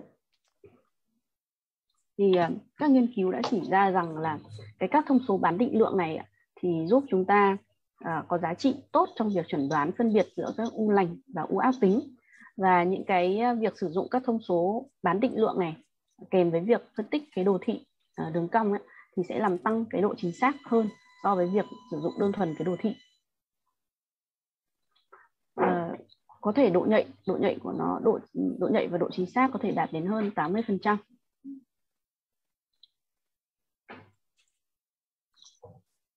À, một nghiên cứu của Jin năm 2019 ấy, thì cũng cho một cái kết luận là cái việc mà mà sử dụng cái phương pháp đo đạc đưa ra các thông số tự động và à, các à, thông số bán định lượng và định lượng để phân tích cái đường cong à, động học của thời gian gấm thuốc ấy, thì làm à, à, thì là so với cái phương pháp truyền thống ấy, thì là sẽ làm tăng cái hiệu quả của chẩn đoán cao hơn và nó có thể là được coi là một cái phương pháp tốt cho các việc chẩn đoán. Nhưng điểm hạn chế của các phương pháp bán định lượng này là không đồng nhất giữa các máy chụp và nó phụ thuộc vào cấu hình máy chụp cũng như là việc cài đặt các thông số và ngưỡng để chọn. Ví dụ như là đối với các máy từ lực cao hơn thì sẽ hoặc là chụp được cái chuỗi xung ultra phát thì cái thông số uh, các các thông số về về bán định lượng này chúng ta sẽ có thể đo đạc được cụ thể và rõ ràng hơn so với việc là chúng ta chụp ừ, không chụp chuỗi xung ultra phát một cách tiếp cận thứ hai đối với cái việc mà cộng từ động học là bằng các nội dung định lượng. Thì uh, nguyên tắc nguyên lý uh, dựa trên cái nguyên lý của à, uh, CT tức là khi mà cái lượng thuốc đi vào lòng mạch và trong uh, máy cộng hưởng từ sẽ đo đo uh, sẽ lấy tín hiệu của cả một cái vùng thể tích như thế này. Và người ta sẽ tính toán được là cái thời điểm mà cái uh, cái cái lượng thuốc đi ra khỏi khoảng gian bào cũng như là cái lượng thuốc uh, quay trở lại lòng mạch. Đây, để rõ hơn thì chúng người ta đưa ra một cái hệ thông số uh, hệ tích hàng số thể tích cái vận chuyển là ca trang đối với ca chan thì đã được khuyến cáo là để dùng là một cái hằng số chính trong việc đo đạc các thông số về việc uh, tán của thuốc đi vào lòng mạch đây các phân tử thuốc màu xanh và các ờ, tế bào thì là chúng ta sẽ thấy là màu hồng khi mà cái khoảng gian bào này nó nó, nó ở bình thường chúng ta sẽ đo được một cái hằng số ca chan là hằng số vận chuyển ờ, khi mà có các bệnh lý về khoảng gian bào cũng như là về lòng mạch thì cái hệ số ca chan này sẽ thay đổi đúng không? thì Ờ, đối với vú và đối với ba tela thì cái hằng số ca chan thì được uh, sẽ đạt nhãn chừng khoảng 0,9 thế khi mà có tổn thương làm thòng mạch hay làm một cái việc uh, cái khối u tăng sinh uh, tăng sinh các tế bào mao mạch thì sẽ làm cho cái hệ số Kazan này tăng. Và ngoài ra thì người ta còn sử dụng hai cái thông số phụ tức là VE và KEP là để đo cái tổng thể tích cái khoang uh, cái khoảng bao ừ, mao mạch và cái hằng số kép là một cái hằng số mà sử dụng Kachan trên VE thì hằng số kép này có một cái ưu điểm là nó sẽ không bị phụ thuộc vào cái uh, lưu lượng tim uh, uh, hệ suất tống hệ suất tống máu ấy. Thế còn cachan thì ngoài việc ảnh hưởng vào việc uh, mật độ của mạch máu uh, tăng sinh mạch ảnh hưởng của cái lớp nội mô của lòng mạch thì nó còn phụ thuộc vào cái hệ suất uh, phân suất tống máu nữa. Và uh, nhiều nghiên cứu đã chỉ ra rằng là cái Ờ, cái giá trị trung bình của nhóm Kachan kép thì ở nhóm lành tính và ác tính là khác nhau. Và giá trị Kachan thì đối với những cái khối u ác tính thì cao hơn đối với những cái khối u mà uh, ít uh, có độ mô học thấp hơn. Và uh, đối với những cái khối u càng ác tính thì cái Kachan và cái kép thì nó sẽ càng tăng tăng rất cao và tiên lượng rất là xấu. Vậy thì có một cái uh, cái nghiên cứu tức là có một cái nghiên cứu có thể chỉ ra rằng là uh, các thông số này có thể hướng tới uh, độ mô học của khối u. Tức là chúng ta có thể phân loại được cái độ mô học của khối u dựa vào các thông số định lượng như này. Đây cũng là một uh, tập trung một vài cái nghiên cứu mà sử dụng các thông số um, về các chan các số định lượng trong việc là chẩn đoán các khối u. Thì chúng ta thấy là đều trong những cái trường hợp uh, ngoài việc giúp chúng ta phân biệt được là u lành u ác thì nó còn giúp chúng ta đánh giá uh, trong việc điều trị sau điều trị uh, tiên lượng với việc đáp ứng với cả hóa trị trước mục nha. Uh, và sau đây thì đến phần chúng tôi tôi sẽ xin trình bày vào một số ca lâm sàng về hình ảnh cộng hưởng từ tuyến vú. Uh, ca số 1 tức là bệnh nhân nữ uh, sở thấy một cái khối ở bên vú bên uh, trái và có khả năng di động. Ừ, tuy nhiên thì là cái khối này rất là tăng đậm độ và có một phần chúng ta không xác định được bờ bệnh nhân được chụp cộng hưởng từ. Thì chúng ta thấy là cái đường viền của cái tổn thương khá là rõ. Ờ, đồng thời với việc là chúng ta đo được cái sau cái thời điểm tiêm thuốc thì cái đồ thị nó ngấm thuốc tăng dần. Và đây là một cái à, dạng đồ thị à, đường cong tích lũy hay là đường cong tự tiến và các thông số của cái khối u thì chúng ta sẽ thấy là cái khoảng thời gian ngấm thuốc và cái đỉnh của ngấm thuốc thì nó sẽ rơi vào quãng hơn 2 phút. Uh, chỗ này nó sẽ hơn. Uh, so với các khối u ác tính thì cái khoảng thời gian nó chỉ khoảng từ 60 giây cho đến 120 giây thì cái khối u này có cái đỉnh ngấm thuốc uh, kéo dài hơn. Và um, cái cachan và cái kết thì nó hơi hơi hơi tăng mà tại vì là chúng ta đo ở cái vùng uh, cái vùng độc độ cao hơn và cái tổn thương uh, rộng. Và cái này thì ờ, uh, ngấm thuốc mạnh nhưng mà cái cái thời gian mà đạt đỉnh thì là nó sau tận 3 phút cho nên là không nghĩ nhiều đến tổn thương ác tính. Tuy nhiên thì với cái một cái khối u có tiến triển nhanh uh, to như vậy thì vẫn nghi ngờ một cái tổn thương có thể là u pilot ác tính cho bệnh nhân sinh thiết. Và kết quả thì nó ra là u số tuyến vú lành tính. Đây là một trường hợp khác tức là bệnh nhân cũng sờ thấy khối uh, đi khám vú. Thì trên mamo chúng ta thấy có một cái khối tăng đậm độ ở góc 1 phần tư trên ngoài vú uh, uh, phải vú trái. Không tăng cái mức độ đậm độ nhiều lắm và chúng ta còn nhìn thấy một chút bờ viền của tổn thương. Uh, hướng tới một tổn thương có thể là lành tính tại vì là cái bờ viền nó rất là rõ uh, tăng đậm độ một cách vừa phải. Uh, tuy nhiên thì trên siêu âm thì cái tổn thương nó lại không rõ bờ và ranh giới có viền halosite và cái phần hình dạng thì nó không đều. Ờ, thì cái tổn thương này sau siêu âm chỉ được phân loại là virus à, B. À, bệnh nhân được à, chụp cộng hưởng từ để làm bi lăng. À, thì chúng ta sẽ thấy là trên có uh, tổn thương giảm tín hiệu trên T1 uh, cái đường bờ cũng khá là rõ tăng nhẹ ở trên Tia tăng trên Tia và diffusion thì không không có sự hạn chế khuếch tán. Và sau tiêm thuốc thì cái đồ thị ngấm thuốc của khối u cũng là dạng tích lũy tiến. À, đối với những cái trường hợp mà chúng ta sử dụng các thông số định lượng thì bao giờ cũng có một cái đường đồ thị của động mạch đi kèm để chúng ta so sánh và đối chiếu. Thì chúng ta thấy là cái khoảng mà u bắt đầu ngấm thuốc khá dài là sau 100 giây và cái thời điểm mà cái u ngấm thuốc uh, đạt đỉnh thì cũng khá dài cũng ngoài 3 phút. Và hướng tới uh, như cái ví dụ tôi đã nêu lúc trước thì với một cái thông số như này thì hướng tới một cái tổn thương lành tính và kết quả giải phẫu bệnh ra là u sơ tuyến vú mặc dù là ở trên siêu âm thì chúng ta nhìn thấy là một cái khối u mà đường bờ không rõ uh, nhưng mà trên trên cộng hưởng từ thì gợi ý một cái khối u lành tính và kết quả giải vẫn bệnh ra là u sơ tuyến vú lành tính. Một ca nữa là bệnh nhân tình cờ đi ờ, khám lâm sàng thì siêu âm thấy một cái khối ở ngay dưới núm vú bệnh nhân này 71 tuổi. Thì ờ, trên ngay tổn thương ở ngay dưới núm vú tròn và cũng có bờ không đều. Ở trên elato thì thấy chỉ có một phần bệnh nhân ờ, một phần tổn thương cứng với một cái tuổi như vậy và một cái khối u hình dạng trên mong trên x quang à trên siêu âm này nghĩ đến một cái tổn thương uh, bài đáp B. Uh,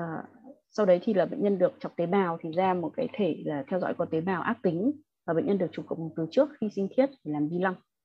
Và chúng ta sẽ thấy là trên cộng hồn từ thì cái nốt ở vú trái đấy nấm thuốc ngay dưới ngay dưới núm vú thì tăng tín hiệu rất mạnh tuy nhiên là bên vú phải bệnh nhân cũng xuất hiện một cái khối uh, trên một cái khối trên một cái khối khác ở bên vú phải đấy. cái uh, nốt ở bên vú trái thì uh, giảm trên T1 còn cái khối ở bên vú uh, ờ, bên phải thì có một cái vùng hơi tăng nhẹ trên T1 thì cũng gợi ý đến một cái tổn thương không gọi là ác tính lắm vì là nó tăng trên T1 uh, sau tiêm thuốc thì chúng ta thấy là cái khối u ở ngay dưới núm vú trái thì ngừng thuốc mạnh và tăng dần. Còn cái mức độ ngấm thuốc của cái khối u ở bên vú phải thì thấp hơn. Và đây là cái à, đồ thị uh, các thông số của bên tổn thương bên vú bên trái. Thì chúng ta thấy là đều có cái uh, cái thời gian ngấm thuốc uh, đạt đỉnh của cái vú trái thì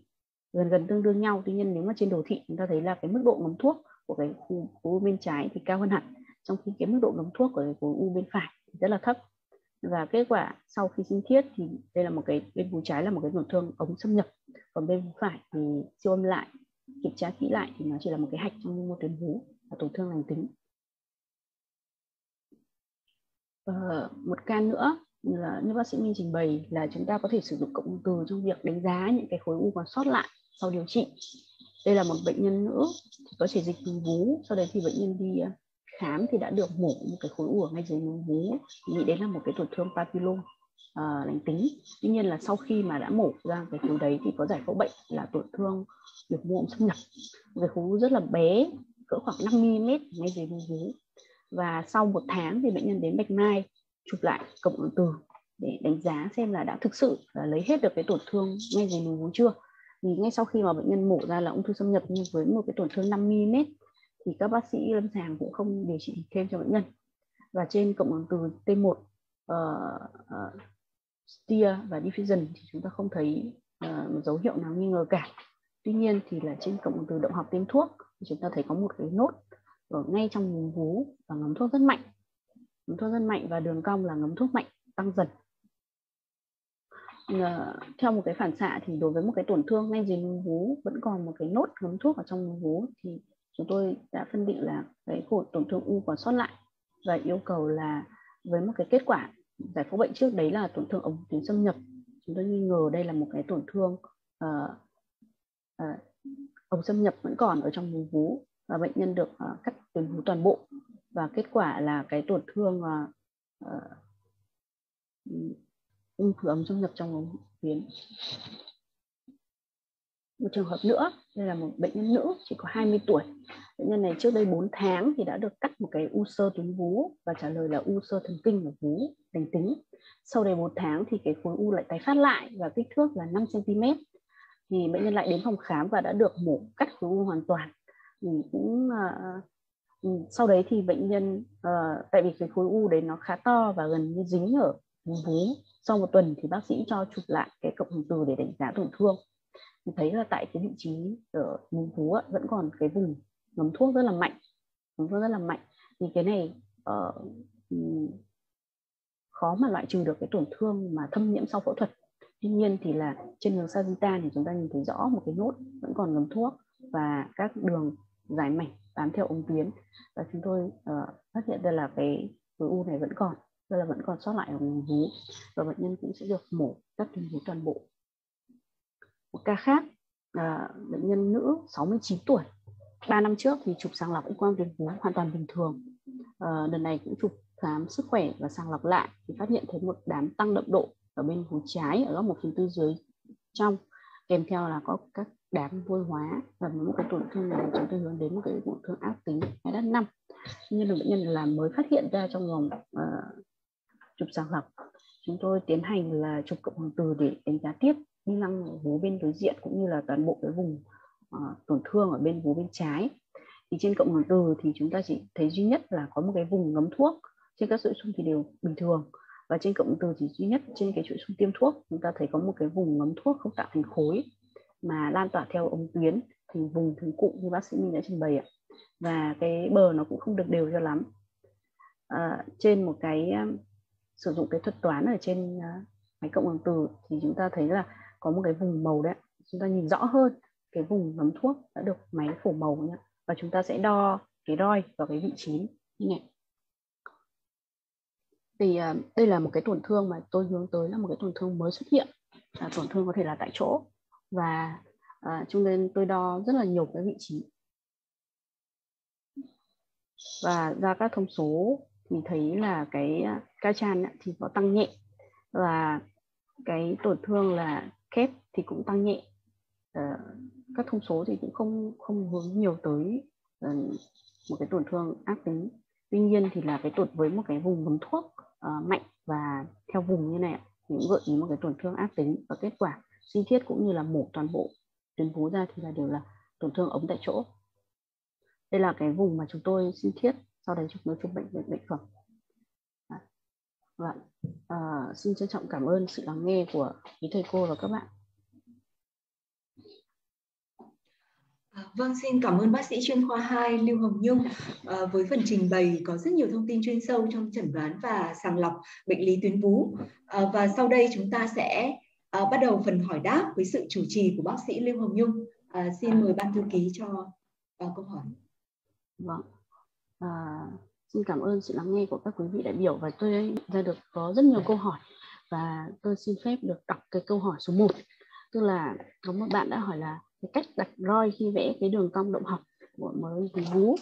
thì cái phần theo cái hướng dẫn của Bayrat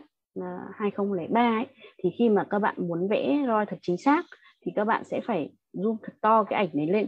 Và sau đấy thì các bạn sẽ đặt cái roi ở ở, ở cái vị trí một cái roi nó bé thôi ạ ở cái vị trí mà các bạn chọn thì các bạn sẽ đảm bảo được cái đồ thị rất là mới rất là đẹp. Đấy, có một cái mà tôi đã sử dụng cái à, đo. Thì có một cái mà các bạn muốn đặt à, có một cái rất là nhiều ảnh vào đây đây ạ. Thì các bạn sẽ phải zoom cái ảnh này lên rất là to. Sau đấy thì các bạn sẽ chọn một cái vùng mà các bạn thấy.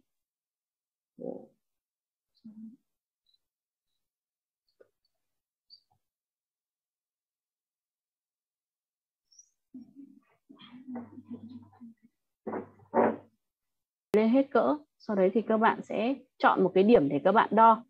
Như thế thì các bạn sẽ được cái phần đồ thị tốt nhất và nó chính xác nhất. Thì tôi đã thử đo rất nhiều các các các đường đồ thị nhưng mà nếu mà muốn để một cái đồ thị và chính xác nhất thì các bạn sẽ zoom lên hết cỡ và các bạn chọn cái điểm ngấm thuốc tốt nhất. Thì đối với các máy thế hệ mới bây giờ ấy, thì là người ta sẽ có những cái bản đồ ngấm thuốc bằng màu như bác sĩ Minh đã trình bày. Thì người ta phổ ba màu ạ màu xanh là ngấm thuốc nền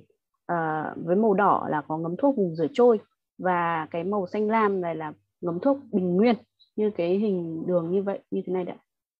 đấy thì các các máy thì là dựa vào mã hóa như thế này. Tức là đối với cái màu xanh ờ, xanh lam này cho cái ờ, đường đồ thị lũy tiến cái màu xanh ra lá cây này cho cái vùng cao nguyên và đây màu đỏ là cho vùng rửa trôi. Thì đối với các máy tính các bạn xử lý trên máy chạm là có cái màu đây đấy thì là tốt nhất tại vì là Ờ, đôi khi cái việc ngấm thuốc ở bằng mức độ mắt ấy, các bạn sẽ khó phân định nhưng mà nếu bằng màu thì tương đối chính xác. Các bạn sẽ zoom to ảnh lên và các bạn chọn cái roi và cái vùng mà có màu đỏ các bạn sẽ đặt roi đo vào đó thì là các bạn sẽ ra được cái đồ thị ờ, đúng nhất của cái tổn thương. Vì bản chất của cái tổn thương vú là nó không đồng nhất cho nên sẽ có vùng mà nó ngấm thuốc hoặc là có những vùng thải thuốc hay có những cái vùng hại tử hoặc là có những cái vùng mô uh, cái độ mô học rất là ác tính rất là cao ngay bản thân trong một cái u cũng có những cái vùng mà có độ mô học rất là thấp cái việc mà các bạn sử dụng cái ờ, bản đồ màu để đo roi thì là chính xác nhất. Thì máy tính sẽ mang hóa màu cho chúng ta và chúng ta chỉ cần việc đặt một cái đường roi uh, vào cái vùng này. Thì có một cái chú ý là đây trong trường hợp này thì tôi đặt một cái roi khá nhỏ cho nên là cái cái thông số mà cái dưới cái đường cong uh, cái thông số cái hệ số mà uh, uh, thuốc dưới cái đường cong á, thì nó sẽ không được định dạng. Như vậy nếu các bạn vẽ roi nhỏ thì là cái ảnh cái đồ thị rất là đẹp tuy nhiên là cái ờ, cái ờ, diện tích dưới đường cong thì lại máy lại sẽ không tính toán được. Như vậy là ờ, đối với cái trường hợp mà vẽ roi thì các bạn sẽ vẽ tối đa cái vùng mà các bạn nhìn thấy có màu đỏ. Và làm sao cho tránh những cái vùng mà nó có màu khác ạ thì các bạn sẽ được cái cái ảnh roi đẹp nhất. Đó, bây giờ tôi xin quay trở lại đến câu hỏi số 2 câu hỏi số 2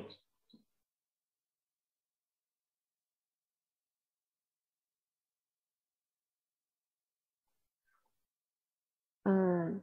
cái cộng hưởng từ phổ này thì vẫn còn đang đang được nghiên cứu. Vì là người ta đã đưa ra nhiều kể cả trong tất cả các vùng như kiểu là uh, hay hay áp dụng nhất cộng hưởng từ phổ là não cũng như là từ lực tuyến. Thì thấy là cái giá trị của cộng hưởng từ phổ nó uh, có độ nhạy và độ đặc hiệu ở mức độ uh, vừa phải. Chẳng hạn như là những cái vùng mà có vùng khi mà chúng ta đo phổ ấy thì chúng ta sẽ phải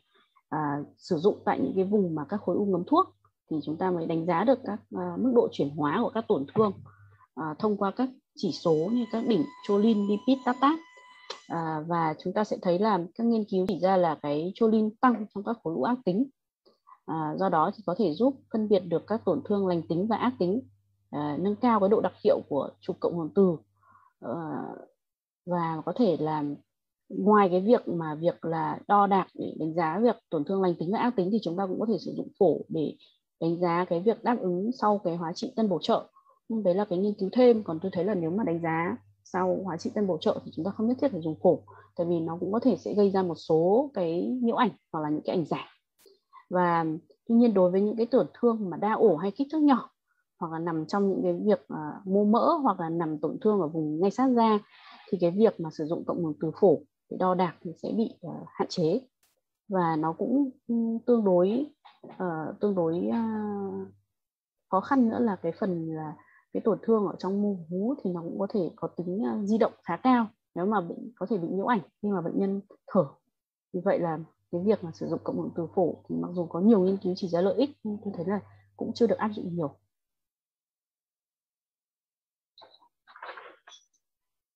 Uh, tiếp đến thì sẽ uh, tôi xin phép được trả lời cái câu hỏi thứ ba.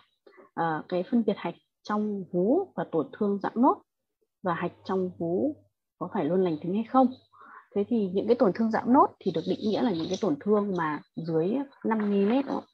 và nó nằm ở dạng nốt. Thì đối với những cái hạch ở trong mô tuyến vú thì nó ban đầu thì các bạn sẽ thấy là nó gần như là giống nhau. Tuy nhiên nếu các bạn nhìn kỹ ở trên cái chuỗi xung T1 mà không xóa mỡ thì chúng ta sẽ thấy là cái hạch ở trong mô vú thì nó sẽ có một cái à,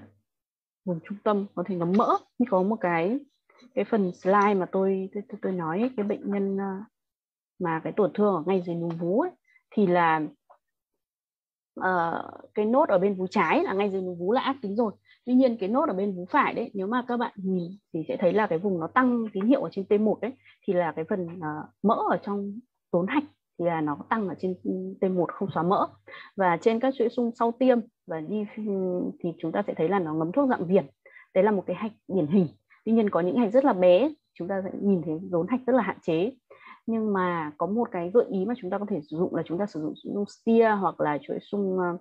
ờ, uh, T2 xóa mỡ. Thì đối với những cái chuỗi xung này thì cái hạch thì nó sẽ rất là tăng tăng hơn rất nhiều so với cái tổn thương bình thường. Đối với T2 xóa mỡ hoặc là tia thì các tổn thương ác tính thì nó cũng đều tăng trên à, trên tín hiệu trên đó. Tuy nhiên là đối với hạch thì tăng tăng cực kỳ rất là rất là lớn. Và hạch trong vú thì nó ờ, đối với những cái hạch mà có cái hình dạng, kích thước điển hình như là có rốn hạch này à, vỏ, cấu trúc hạch vẫn còn nguyên vẹn, hoặc là cái kích thước hạch hoặc hình thái hạch là hình oval ranh giới rõ, thì những cái hạch đấy luôn luôn là lành tính tuy nhiên khi mà chúng ta phát hiện đến một cái và đối với cái vú mà nó không có tổn thương gì thì cái việc xuất hiện hạch thì là luôn luôn là lành tính. Tuy nhiên trên một cái vú mà chúng ta có những cái tổn thương nghi ngờ hay trên những cái vú mà chúng ta đã có những cái khối u uh, ác tính đã được xác định BRAF 6 thì những cái hạch uh, xung quanh cái tổn thương đấy thì có thể nó là hạch lính gác. Tức là đã có thể có vi xâm nhập đến hạch cho nên chúng ta vẫn phải ghi nhận những cái hạch đấy lại. Và trong điều kiện mà chúng ta có thể chúng ta có thể làm các phương pháp khác để tiếp cận chẳng hạn như chúng ta có thể chụp uh, xạ hình hạch để đánh giá xem là cái hạch đấy đã đã đã bị vi xâm nhập chưa hoặc là chọc tế bào hạch. Một số các trường hợp mà chúng ta chỉ cần theo dõi sau điều trị uh, thì chúng ta đã chúng ta sẽ thấy là những cái hạch những cái trường hợp mà các khối u mà đáp ứng với hóa chất thì những hạch trong một tuyến vú đấy uh, trước điều trị thì sau điều trị chúng ta sẽ không thấy nó hoàn toàn biến mất. Vậy thì không phải là nó luôn lành tính mà nó phải phụ thuộc vào việc là cái vú đấy nếu như có tổn thương thì tất cả những cái hạch đấy thì cần phải đặt là nghi ngờ dạ.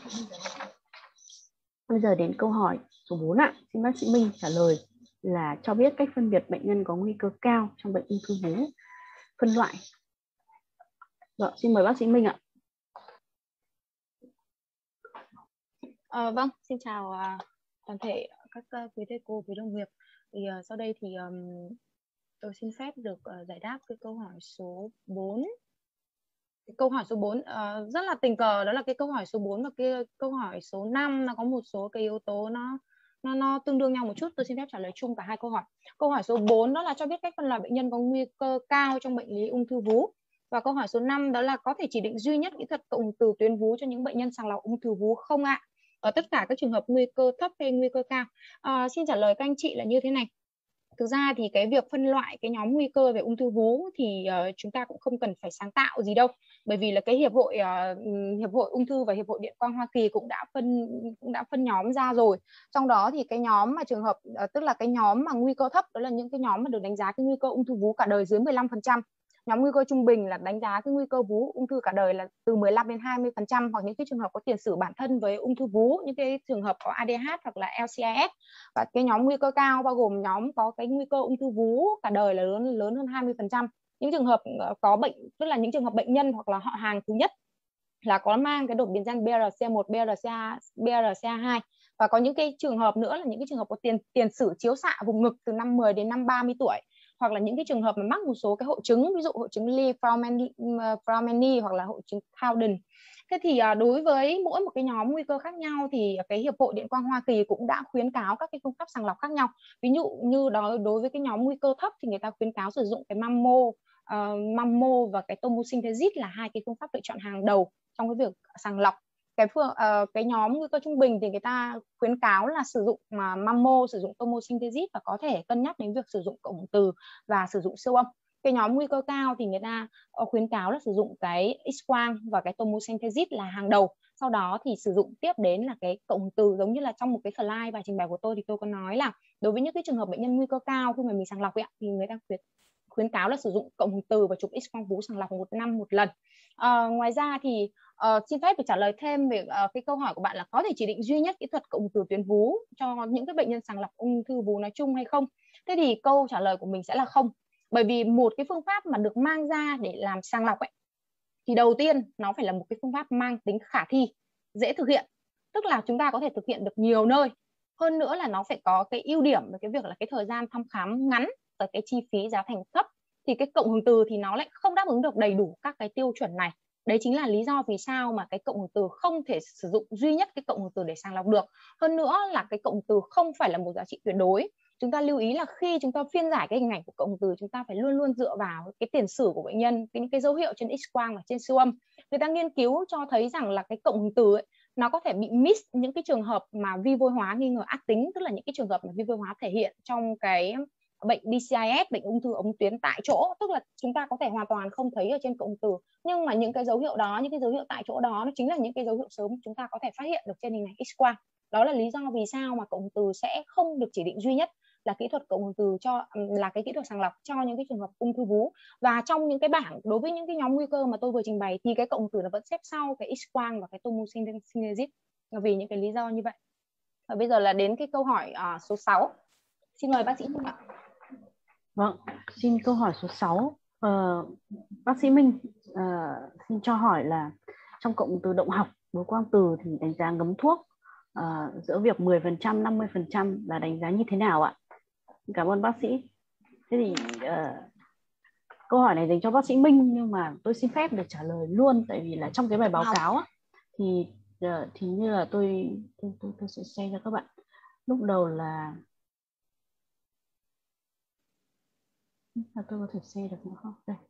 Thì ờ, nếu như mà trên các máy các bạn sử dụng các quotation của các máy ấy, thì nó sẽ cho luôn các bạn các phần như thế này luôn. Các thông số ở trên cái cái cái đồ thị đó luôn. Đây các bạn sẽ nhìn thấy đây. Ờ, nó có một cái đường gióng sang như thế này này. Thì các bạn sẽ thấy luôn là cái giá trị của mình đạt là bao nhiêu. Rồi, các bạn khi mà các bạn vẽ đây cái đường đồ thị nó ngấm ở phía sau đây thì chúng ta sẽ thấy luôn đây là cái cột tín hiệu thì đây là 0, 20%, 40%, 60%, 80, 100% và 160% đấy. Và cái cái phần ngấm thuốc đây thì chúng ta có thể đo đỉnh xem là ngấm thuốc mức độ bao nhiêu. Và cái phần cái đường line này hoặc là chúng ta ngoài việc đo được cái thời gian đặt đỉnh ngấm thuốc, thời gian bắt đầu ngấm thuốc bằng cái trục tung và cái thời gian mà chúng ta mức độ ngấm thuốc và chúng sẽ chúng ta sẽ đo bằng cái trục tung như này còn với phần thời gian ở phía dưới chúng ta sẽ đo bằng trục ngoảnh thì trên máy khi mà các bạn vẽ đồ thị và tích vào như này thì là nó sẽ xuất hiện luôn. Những cái máy cổ xưa cái máy hồi xưa thì chưa có cái áp dụng những cái um, thuật toán vào trong máy thì các bạn sẽ thấy là nó chỉ là một cái hình uh, như cái phần đầu tiên tôi trình bày ấy, thì nó chỉ mang tính chất uh, ước lượng. Và hiện nay thì các máy đều có hỗ trợ những cái phần mềm hoặc là các những cái thuật toán ở trong máy cho nên các bạn sẽ thấy là nó không không không cần phải ước lượng như này nữa chúng ta dóng sang chúng ta tích vào một điểm và dóng sang chúng ta sẽ có ngay tất cả các thông số mà chúng ta cần hoặc là thậm chí khi mà vẽ roi vào thì chúng ta cũng sẽ có một cái bảng ngấm thuốc chúng ta sẽ có luôn như cái bảng mà chúng tôi ngấm thuốc có luôn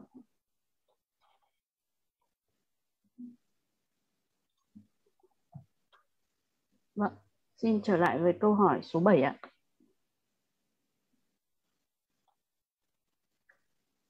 À, chiếc túi ngực. Ờ. Cái này cũng hơi mới. Tôi cũng không biết là cái chip túi ngực thì nó có giống như cái trường hợp mà nó có uh, khử từ được không? Thì cái này chúng ta sẽ hỏi cái bác sĩ đặt xem là cái loại chip của cái túi ngực đấy nó có khử từ không uh, đối với một số cái chip khử từ hay là đối với một số cái vật liệu mà chúng ta vẫn có thể ờ, không không nhiễm từ thì chúng ta vẫn hoàn toàn có thể chụp được uh, chúng ta sẽ có cái thông số của cái chip đấy và chúng ta sẽ ờ, uh, sốt lên một cái trang protocol kiểu cộng từ của cái hãng. Thì chúng ta sẽ ra một loạt những cái chip hay là những cái dụng cụ mà chúng ta có thể chụp được cộng từ. Thì các bạn sẽ hỏi thêm là là là là sẽ thế nào? Và bác sĩ Minh sẽ muốn trả lời thêm cho câu hỏi này. Rồi, xin mời bác sĩ Minh. À, cảm ơn uh, bác sĩ Nhung ạ. Thực ra thì uh, cái này thì đúng là nó là một cái vấn đề nó hơi mới một chút nhưng mà bản thân mình trên cái lâm sàng thì mình đã gặp rồi. Tức là cũng đã có một vài bệnh nhân nói là bác sĩ ơi em đặt cái chip túi ngực đấy thì em có chụp được cụm từ không? Thì như các bạn đã biết là cụm từ là một trong những cái phương pháp cực kỳ quan trọng để đánh giá cái sự toàn vẹn của túi ngực và những cái biến chứng của cái việc đặt túi ngực. Thế thì bản thân mình cũng đã có những cái cuộc trao đổi trực tiếp với bác sĩ phẫu thuật thẩm mỹ về chuyên sâu về túi ngực thì các bác ấy trả lời là cái phần thực ra cái phần ờ, cái phần chip ở trong trong túi ngực ấy nó chỉ là một cái phần rất nhỏ để ghi được những cái thông số về loại túi về những cái ờ, trọng lượng về kích thước thôi và bệnh nhân hoàn toàn có thể chụp cộng từ giống như bình thường khi mà ờ, khi mà nhà sản sản xuất người ta sản xuất thì người ta cũng đã tính đến các cái yếu tố về khử khử từ rồi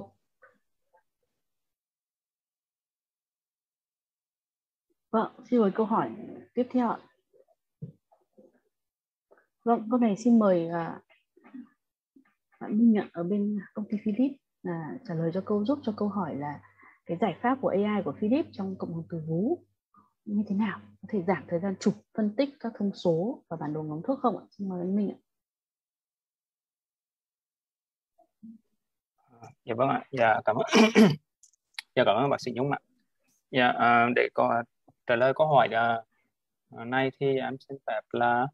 à, trong câu hỏi này sẽ có ba ý. Đầu tiên là giảm thời gian chụp.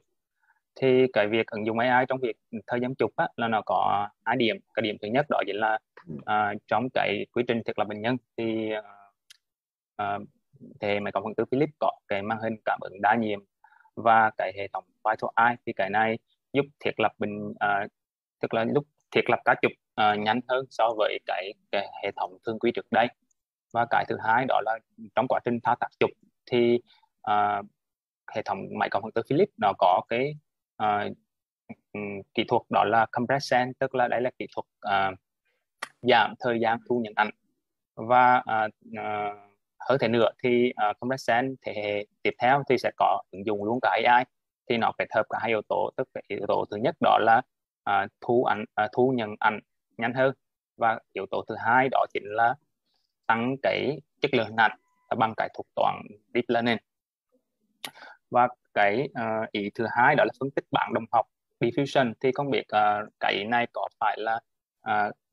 anh chị đâu nó hỏi là có liên quan tới cái chuyện là chụp uh, cái giá trị để mà cho ra cái thông số là I, IVAM hoặc là thông số kurtosis hay không? Thì cái này thì uh, trong phần mềm uh, ở hệ thống hậu xử lý thì uh, Philip có cái phần mềm uh, phân tích uh, um, chuỗi xung khuếch tán nâng cao thì nó sẽ tự động ra các thông số uh, như là IBM và thông số Quitosis và từ đó thì sẽ uh, giúp bác sĩ uh, đánh giá được cái mức độ uh, của tổn thương như thế nào. Và cái ý cuối cùng đó là bản đồ ngắm thuốc. Thì hôm nay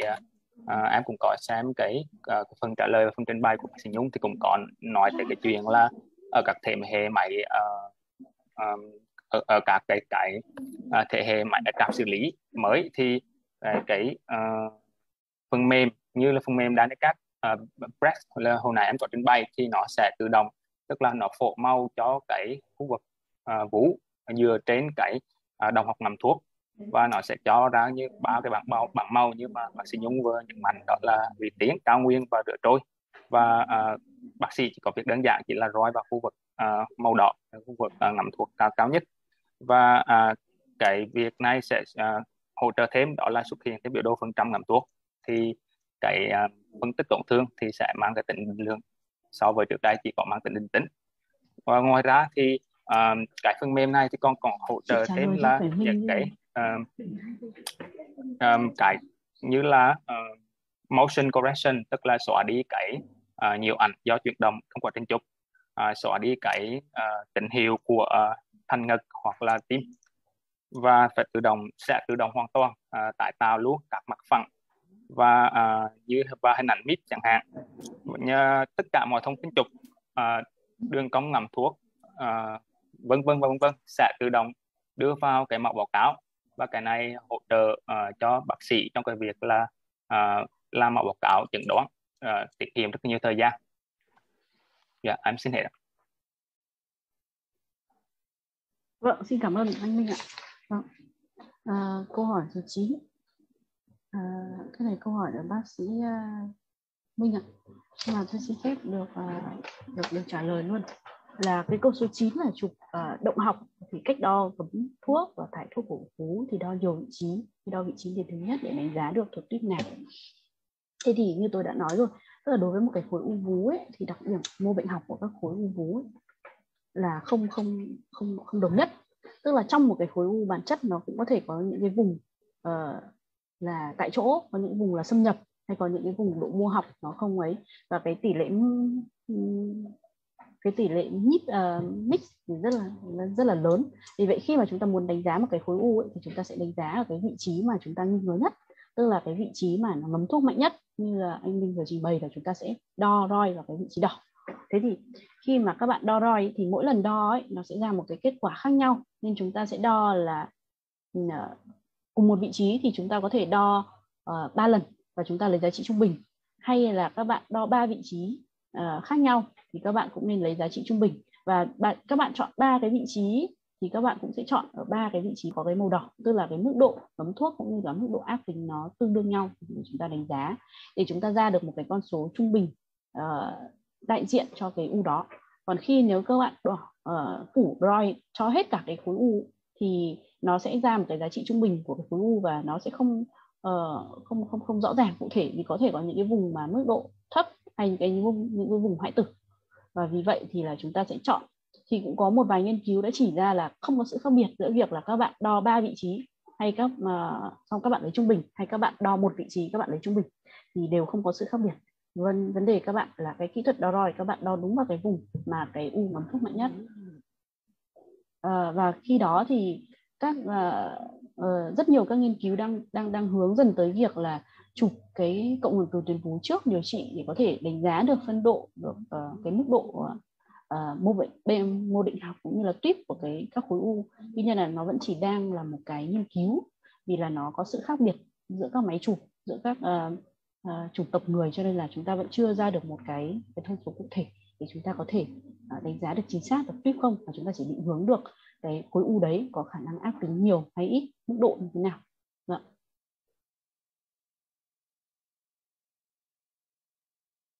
Vâng, với câu hỏi số 10 thì xin mời bác sĩ Minh trả lời ạ. À, cái hội chứng sợ không gian kín ạ, thì à, xin bác sĩ Minh trả lời. Vâng, xin cảm ơn bác sĩ Nhung. Câu hỏi số 10 tức là bác sĩ cho em hỏi là với hội chứng sợ không gian kín thay vì chống chỉ định có thể khuyến cáo gây mê và dùng monitor tương thích độ cộng, cộng từ để theo dõi trong quá trình chụp được không ạ? Ờ, câu trả lời là hoàn toàn là được bởi vì cái phần chống chỉ định của cộng từ mà mình đưa ra ấy, thì nó bao gồm chống chỉ định tuyệt đối và chống chỉ định tương đối. Thực ra đối với những cái hội chứng sợ không gian kín ấy, thì các cái tài liệu trên uh, các cái tài liệu y văn thế giới thì họ cũng khuyên là chúng ta có thể xem xét đến cái việc là sử dụng thuốc an thần cho bệnh nhân. Và khi đó thì bệnh nhân sẽ không còn có cái hội chứng sợ không gian kín nữa bởi vì bệnh nhân uh, tạm tạm thời là mê đi rồi tạm thời là được ăn an thần rồi. Thì lúc đó thì chúng ta có thể là uh, sử dụng chụp giống như các cái bệnh nhân khác thôi.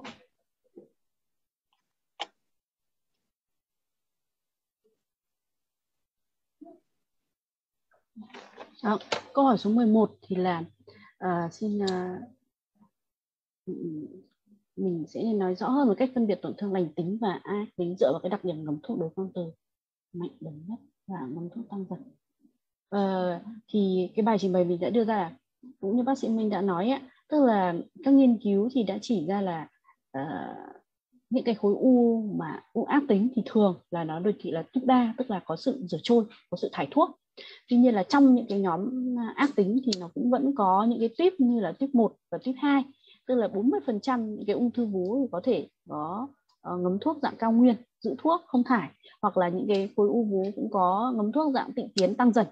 Thế thì cái việc mà chúng ta khi mà chúng ta chụp cộng từ thì chúng ta không nên quá tập trung vào cái việc là à,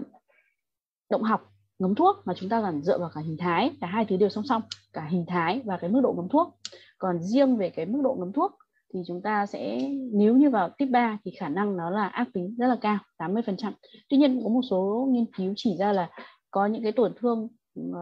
lành tính vẫn có thể vào tiếp 3 thế cho nên là chúng ta sẽ dựa vào cái cái cái đấy là một phần thôi. Và uh, những cái đồ thị tiếp 3 như là đồ thị thải thuốc là điển hình của những cái tổn thương ác tính. Còn thứ đến là những cái đồ thị cao nguyên tức là giữ thuốc và những cái ngấm thuốc tịnh tiến từ từ tăng dần thì khả năng là lành tính. Nhưng mà đối với những cái máy mới thì chúng ta có thể đo được cái khoảng thời gian mà đạt đỉnh hoặc là cái khoảng thời gian bắt đầu ngấm thuốc. Thì những cái khối u ác tính bao giờ những cái thời gian mà bắt đầu ngấm thuốc hay những cái thời gian đạt đỉnh thì cũng sẽ rất là sớm. Thì nó sẽ trong loanh quanh trong cái khoảng từ 60 giây đến 120 giây. Thế còn đối với những cái khối u lành tính ý, thì cái khoảng thời gian bắt đầu ngấm thuốc của u thì thường là nó sẽ muộn hơn thì thường là sau phút thứ hai hoặc là sau phút thứ ba thì chúng ta sẽ gợi ý đến là những cái tổn thương lành tính.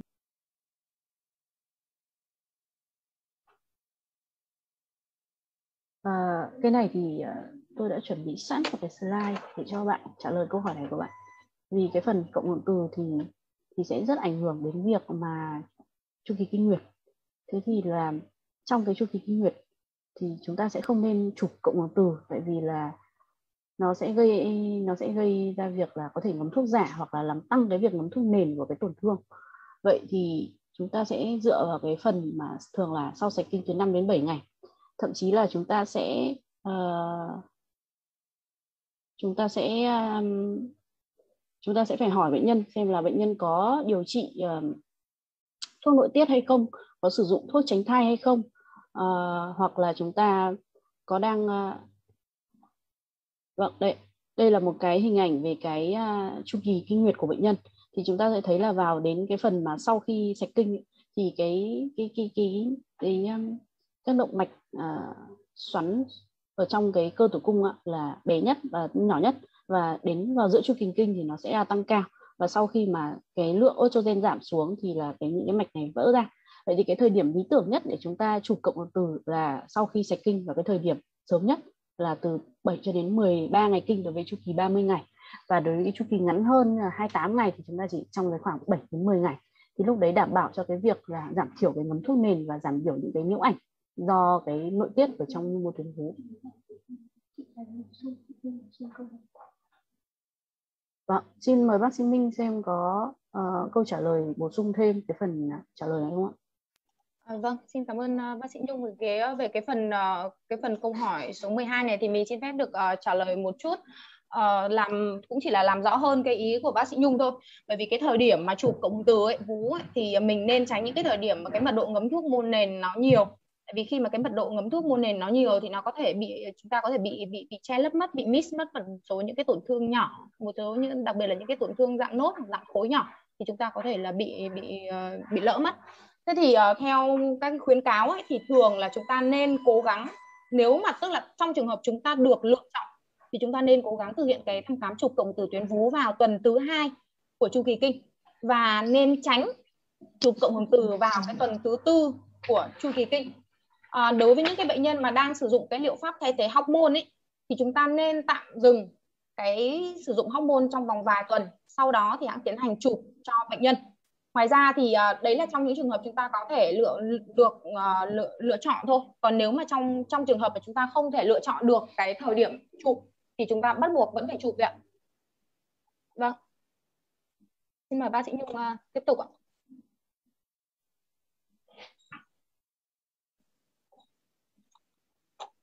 Vâng, câu hỏi số 13. Uh, câu hỏi bác sĩ, câu hỏi bác sĩ trả lời à? À, câu 13 là trên cộng hưởng từ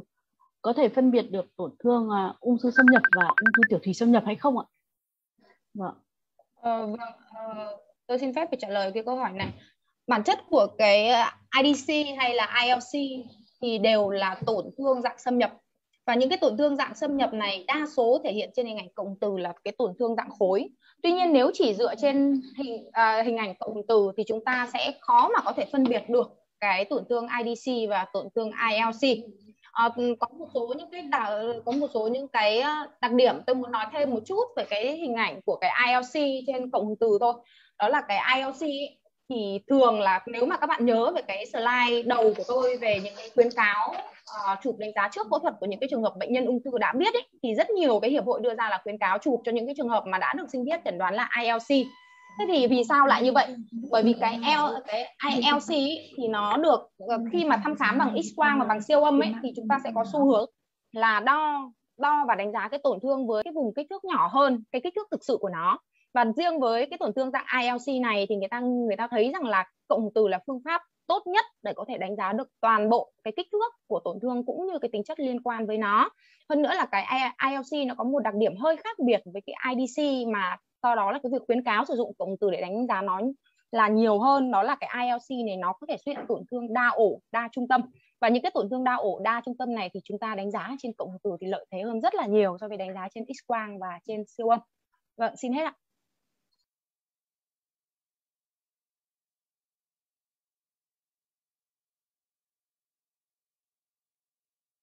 Mời bác sĩ Nhung mở mic ạ.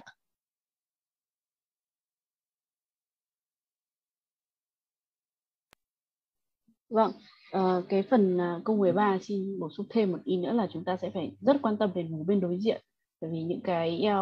ờ, uh, ILC thì phần lớn là cũng phải có một tỷ lệ tương đối khoảng 10 đến 15% bị ung thư vú bên đối diện. Uh, vâng, xin mời câu hỏi số 14 ạ. Có thể sử dụng cộng hưởng từ không tiêm thuốc để sàng lọc hay không và nếu không tiêm thuốc thì có giá trị chẩn đoán có khác biệt nhiều so với tiêm thuốc hay không ạ có nghiên cứu nào đã so sánh về khả năng sàng lọc giữa cộng hưởng từ tiêm và không tiêm chưa thì à, cái câu hỏi này khá thú vị. Thực ra thì lúc mà chúng tôi làm thì chúng tôi cũng nghĩ đến việc là có thể sử dụng cái việc cộng hưởng từ không tiêm thuốc hay không. Vì như vậy là đối với những cái đối tượng mà như kiểu có bệnh lý về thận à, vâng à, thì sẽ việc là à, ưu tiên là sử dụng cộng hưởng từ không tiêm. Và xin mời bác sĩ Minh à, trả lời câu hỏi. Được, xin cảm ơn uh, bác sĩ Nhung ạ. Đúng là như bác sĩ Nhung nói thì đây là một cái câu hỏi không phải là thú vị đâu mà là cực kỳ thú vị. Bởi vì nó đang mở ra một cái hướng đi rất là mới trong cái chụp cộng từ sàng lọc. Giống như à, những cái câu hỏi trước tôi đã à, những cái những cái câu trả lời cho những cái câu hỏi trước tôi đã trình bày. Tức là để mà đáp ứng được một cái phương pháp sàng lọc tốt thì chúng ta phải có cái đáp ứng được tính khả thi cái thời gian thăm khám ngắn và cái chi phí thấp. Thế thì cái vấn đề lớn nhất của cộng từ bây giờ là cái thời gian thăm khám của chúng ta dài và cái chi phí của chúng ta cũng cao cái tính khả thi cũng nó cũng ờ, nó cũng kém hơn. À, thế thì hiện tại thì người ta chưa có cái khuyến cáo chính thức về việc sử dụng cái cộng từ không tiêm thuốc trong việc sàng lọc. Khi mà đề cập đến cái vấn đề chụp cộng từ sàng lọc người ta chỉ đưa ra cái khái niệm tức là mình rút ngắn cái thời gian chụp rút ngắn cái protocol chụp cộng từ mà thôi. Chứ còn người ta chưa có đưa ra những khuyến cáo về chụp cộng từ không tiêm thuốc để dùng trong sàng lọc và do đó thì trả lời luôn cái ý sau của bạn, tức là có nghiên cứu nào đã so sánh về khả năng sàng lọc giữa MRI tiêm và không tiêm? Không. Thì xin trả lời bạn là trong những cái tài liệu, trong những cái cuốn sách mà mình đã học thì mình chưa thấy có một cái nghiên cứu nào so sánh về cái khả năng sàng lọc giữa MRI tiêm và MRI không tiêm cả. Bởi vì người ta cũng chưa mạo hiểm để đưa cái MRI không tiêm vào chương trình sàng lọc. Nói thêm một chút về cái MRI chương trình sàng lọc ấy thì người ta gọi là cái cái cái protocol vắn tắt thì trong cái photon vắn tắt này chủ yếu là người ta rút ngắn cái thời gian chụp động học sau tiêm thuốc. Tức là thay vì chụp 4 pha hoặc là 5 pha thì người ta sẽ chỉ chụp khoảng 2 pha sau tiêm thuốc thôi. Nhưng bản thân khi mà người ta làm như vậy thì người ta cũng khuyến cáo là chúng ta sẽ không sử dụng cái yếu tố đường cong động học ngấm thuốc trong phân trong phân tích cái tính chất ngấm thuốc của tổn thương. Và lúc đấy khi mà chúng ta phiên giải cái hình ảnh chụp cộng từ ấy, thì chúng ta sẽ dựa vào hai yếu tố. Thứ nhất là về hình thái giống như những cái tổn thương trụ chẩn đoán thông thường. Và cái thứ hai nữa sẽ dựa vào cái tính chất ngấm thuốc ở những cái pha sớm của tổn thương với cái nguyên tắc là những cái tổn thương ngấm thuốc sớm ngấm thuốc mạnh thì có xu hướng ác tính hơn so với những cái tổn thương còn lại. Xin hết ạ. Vâng xin có một ý bổ sung nữa là hiện tại thì với các công nghệ mới ấy, thì người ta có thể chụp được để người ta ghi hình được cái à, bản đồ T1 ấy, bản đồ B nữa. Thế thì tôi cũng hy vọng là trong tương lai chúng ta có thể Ờ, tuy nhiên thì là để tạo ra được cái bản đồ B1 tức là chúng ta sẽ không cần phải sử dụng uh, tiêm thuốc để chúng ta tạo ra và chúng ta sẽ đo các thông số trên bản bản đồ T1 để chúng ta có thể đánh giá được cái mức độ um, của tổn thương. Uh, tuy nhiên thì là cái mức cái cái nghiên cứu này thì là vẫn còn ở trong tương lai thì chúng ta cần phải làm trên một cái quần thể lớn và đo cái mức độ nền cũng như là set up cái thông số của từng máy chụp khác nhau và tôi rất hy vọng là trong tương lai chúng ta có thể sử dụng cái việc uh, cộng hưởng từ không tiêm thuốc trong việc sàng lọc. Vâng, xin chuyển câu hỏi số 15 ạ. À, cái câu hỏi này thì nó sẽ liên quan đến uh, vâng uh, xin mời bạn uh, xin mời bác sĩ Minh ạ xin trả lời câu hỏi 15 là trong trường hợp mà sử dụng cộng hưởng từ để đánh giá khối u còn sót lại sau mổ thì nên chụp vào thời điểm nào sau mổ là thích hợp? À, vâng xin cảm ơn bác sĩ Nhung. Thì thực ra thì cái tài liệu những cái tài liệu ờ, về cái chụp cộng từ đánh giá khối u còn sót lại sau mổ thì ờ, cái khuyến cáo về cái thời điểm chụp sau mổ thì cũng không có nhiều lắm đâu. Tuy nhiên là chúng tôi cũng đã tìm được một số cái tài liệu. Tức là chúng ta phải xác định là cái mục đích chính của cái việc chụp cộng từ sau phẫu thuật tức là chúng ta đánh giá cái khối u còn sót lại. Và có một cái nghiên cứu người ta tiến hành trên 68 bệnh nhân được chụp cộng từ đánh giá diện cắt dương tính vú uh, tức là cái diện cắt um, diện diện cắt sau cắt vú một phần thì người ta cho thấy là cái khoảng thời gian cắt giữa khối u và cái hình ảnh chụp cộng từ vú thì nó có ảnh hưởng đến cái độ đặc hiệu và cái giá giá trị ờ, chẩn đoán âm tính của hình ảnh cộng từ và sau đó thì người ta thấy được là cái chụp cộng từ sau phẫu thuật thì nên tức là cái chụp cộng từ sau phẫu thuật để đánh giá cái phần diện cắt và phần khối u còn sót lại thì nên được chụp không sớm hơn 28 ngày sau khi sau cái thời điểm bệnh nhân phẫu thuật ạ. Xin hết ạ. Vâng, xin cảm ơn bác sĩ Minh và đây là câu hỏi số 16 ạ. Các yếu cơ các yếu tố nguy cơ của ung thư vú là gì? Ờ, cái câu hỏi này thì ừ, nó lại lặp lại cái bài của của bác sĩ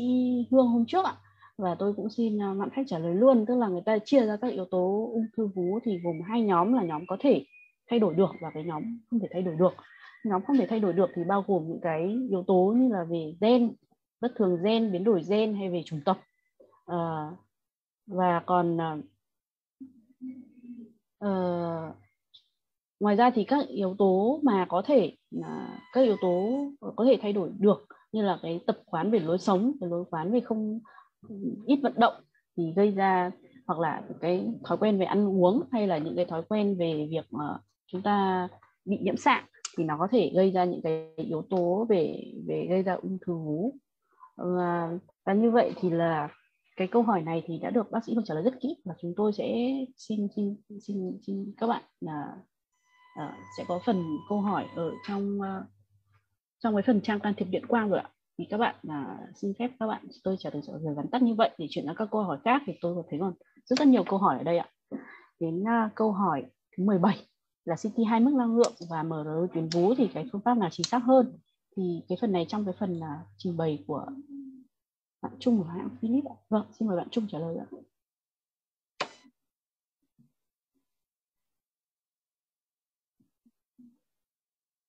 Dạ bạn Trung có đây không ạ? Dạ. Dạ luôn dạ, dạ. thì uh, thực sự ra thì câu hỏi này cũng cũng khá là, là khó trả lời tại vì thực sự ra cái mục đích cuối cùng mà các uh, phương tiện chẩn đoán ảnh á là, là tạo ra một cái cái việc đó là tạo ra cái cái việc chẩn đoán đa tham số. Tức là các um, thiết bị chẩn đoán hình ảnh dù có hiện đại đến đâu thì nó cũng là góp phần vào việc uh, đưa ra cái chẩn đoán cuối cùng. Và cái chuyện mà so sánh hai mức năng lượng á, và em đã tuyển vũ á, thì uh, cái chụp hai mức uh, việc đầu tiên đó chúng ta mình xét về cái khía cạnh đó là cái việc nhiễm xạ cho bệnh nhân. Và cái này nếu như mà chụp em ra tuyển vũ trong cái việc uh, tâm soát á, thì uh, mình nghĩ là không là không nên và vẫn ưu tiên hơn chụp nhũ ảnh siêu âm và à, chụp tổng hưởng từ tuyến vú còn nếu như mà trong trường hợp bệnh lý á, thì à, à, thực ra thì mình chưa có mình theo như mình biết thì mình chưa có thấy là à, à, cơ sở nào họ ứng dụng việc là chụp hai mức năng lượng vào việc là à, chụp à, chụp vú mà thường thì họ chụp vú à, dùng bằng có cái phương pháp cộng từ nhiều hơn tại vì đó là cái ưu thế về việc là à, hiển thị mô mềm và đánh giá nó tốt hơn và đặc biệt là an toàn cho người bệnh nữa. Cho nên thì uh, uh, nếu như mà theo kiến của mình thì mình vẫn nghiêng về là cái phương pháp cộng từ chuyển tuyển vú và cộng thêm uh, làm thêm các xét nghiệm uh, khác về uh, lâm sàng và cường lâm sàng là siêu âm hoặc là chụp nhiễu ảnh để kết hợp lại. Và cuối cùng chúng ta sẽ có được một cái cái chẩn đoán chính xác nhất. Cảm ơn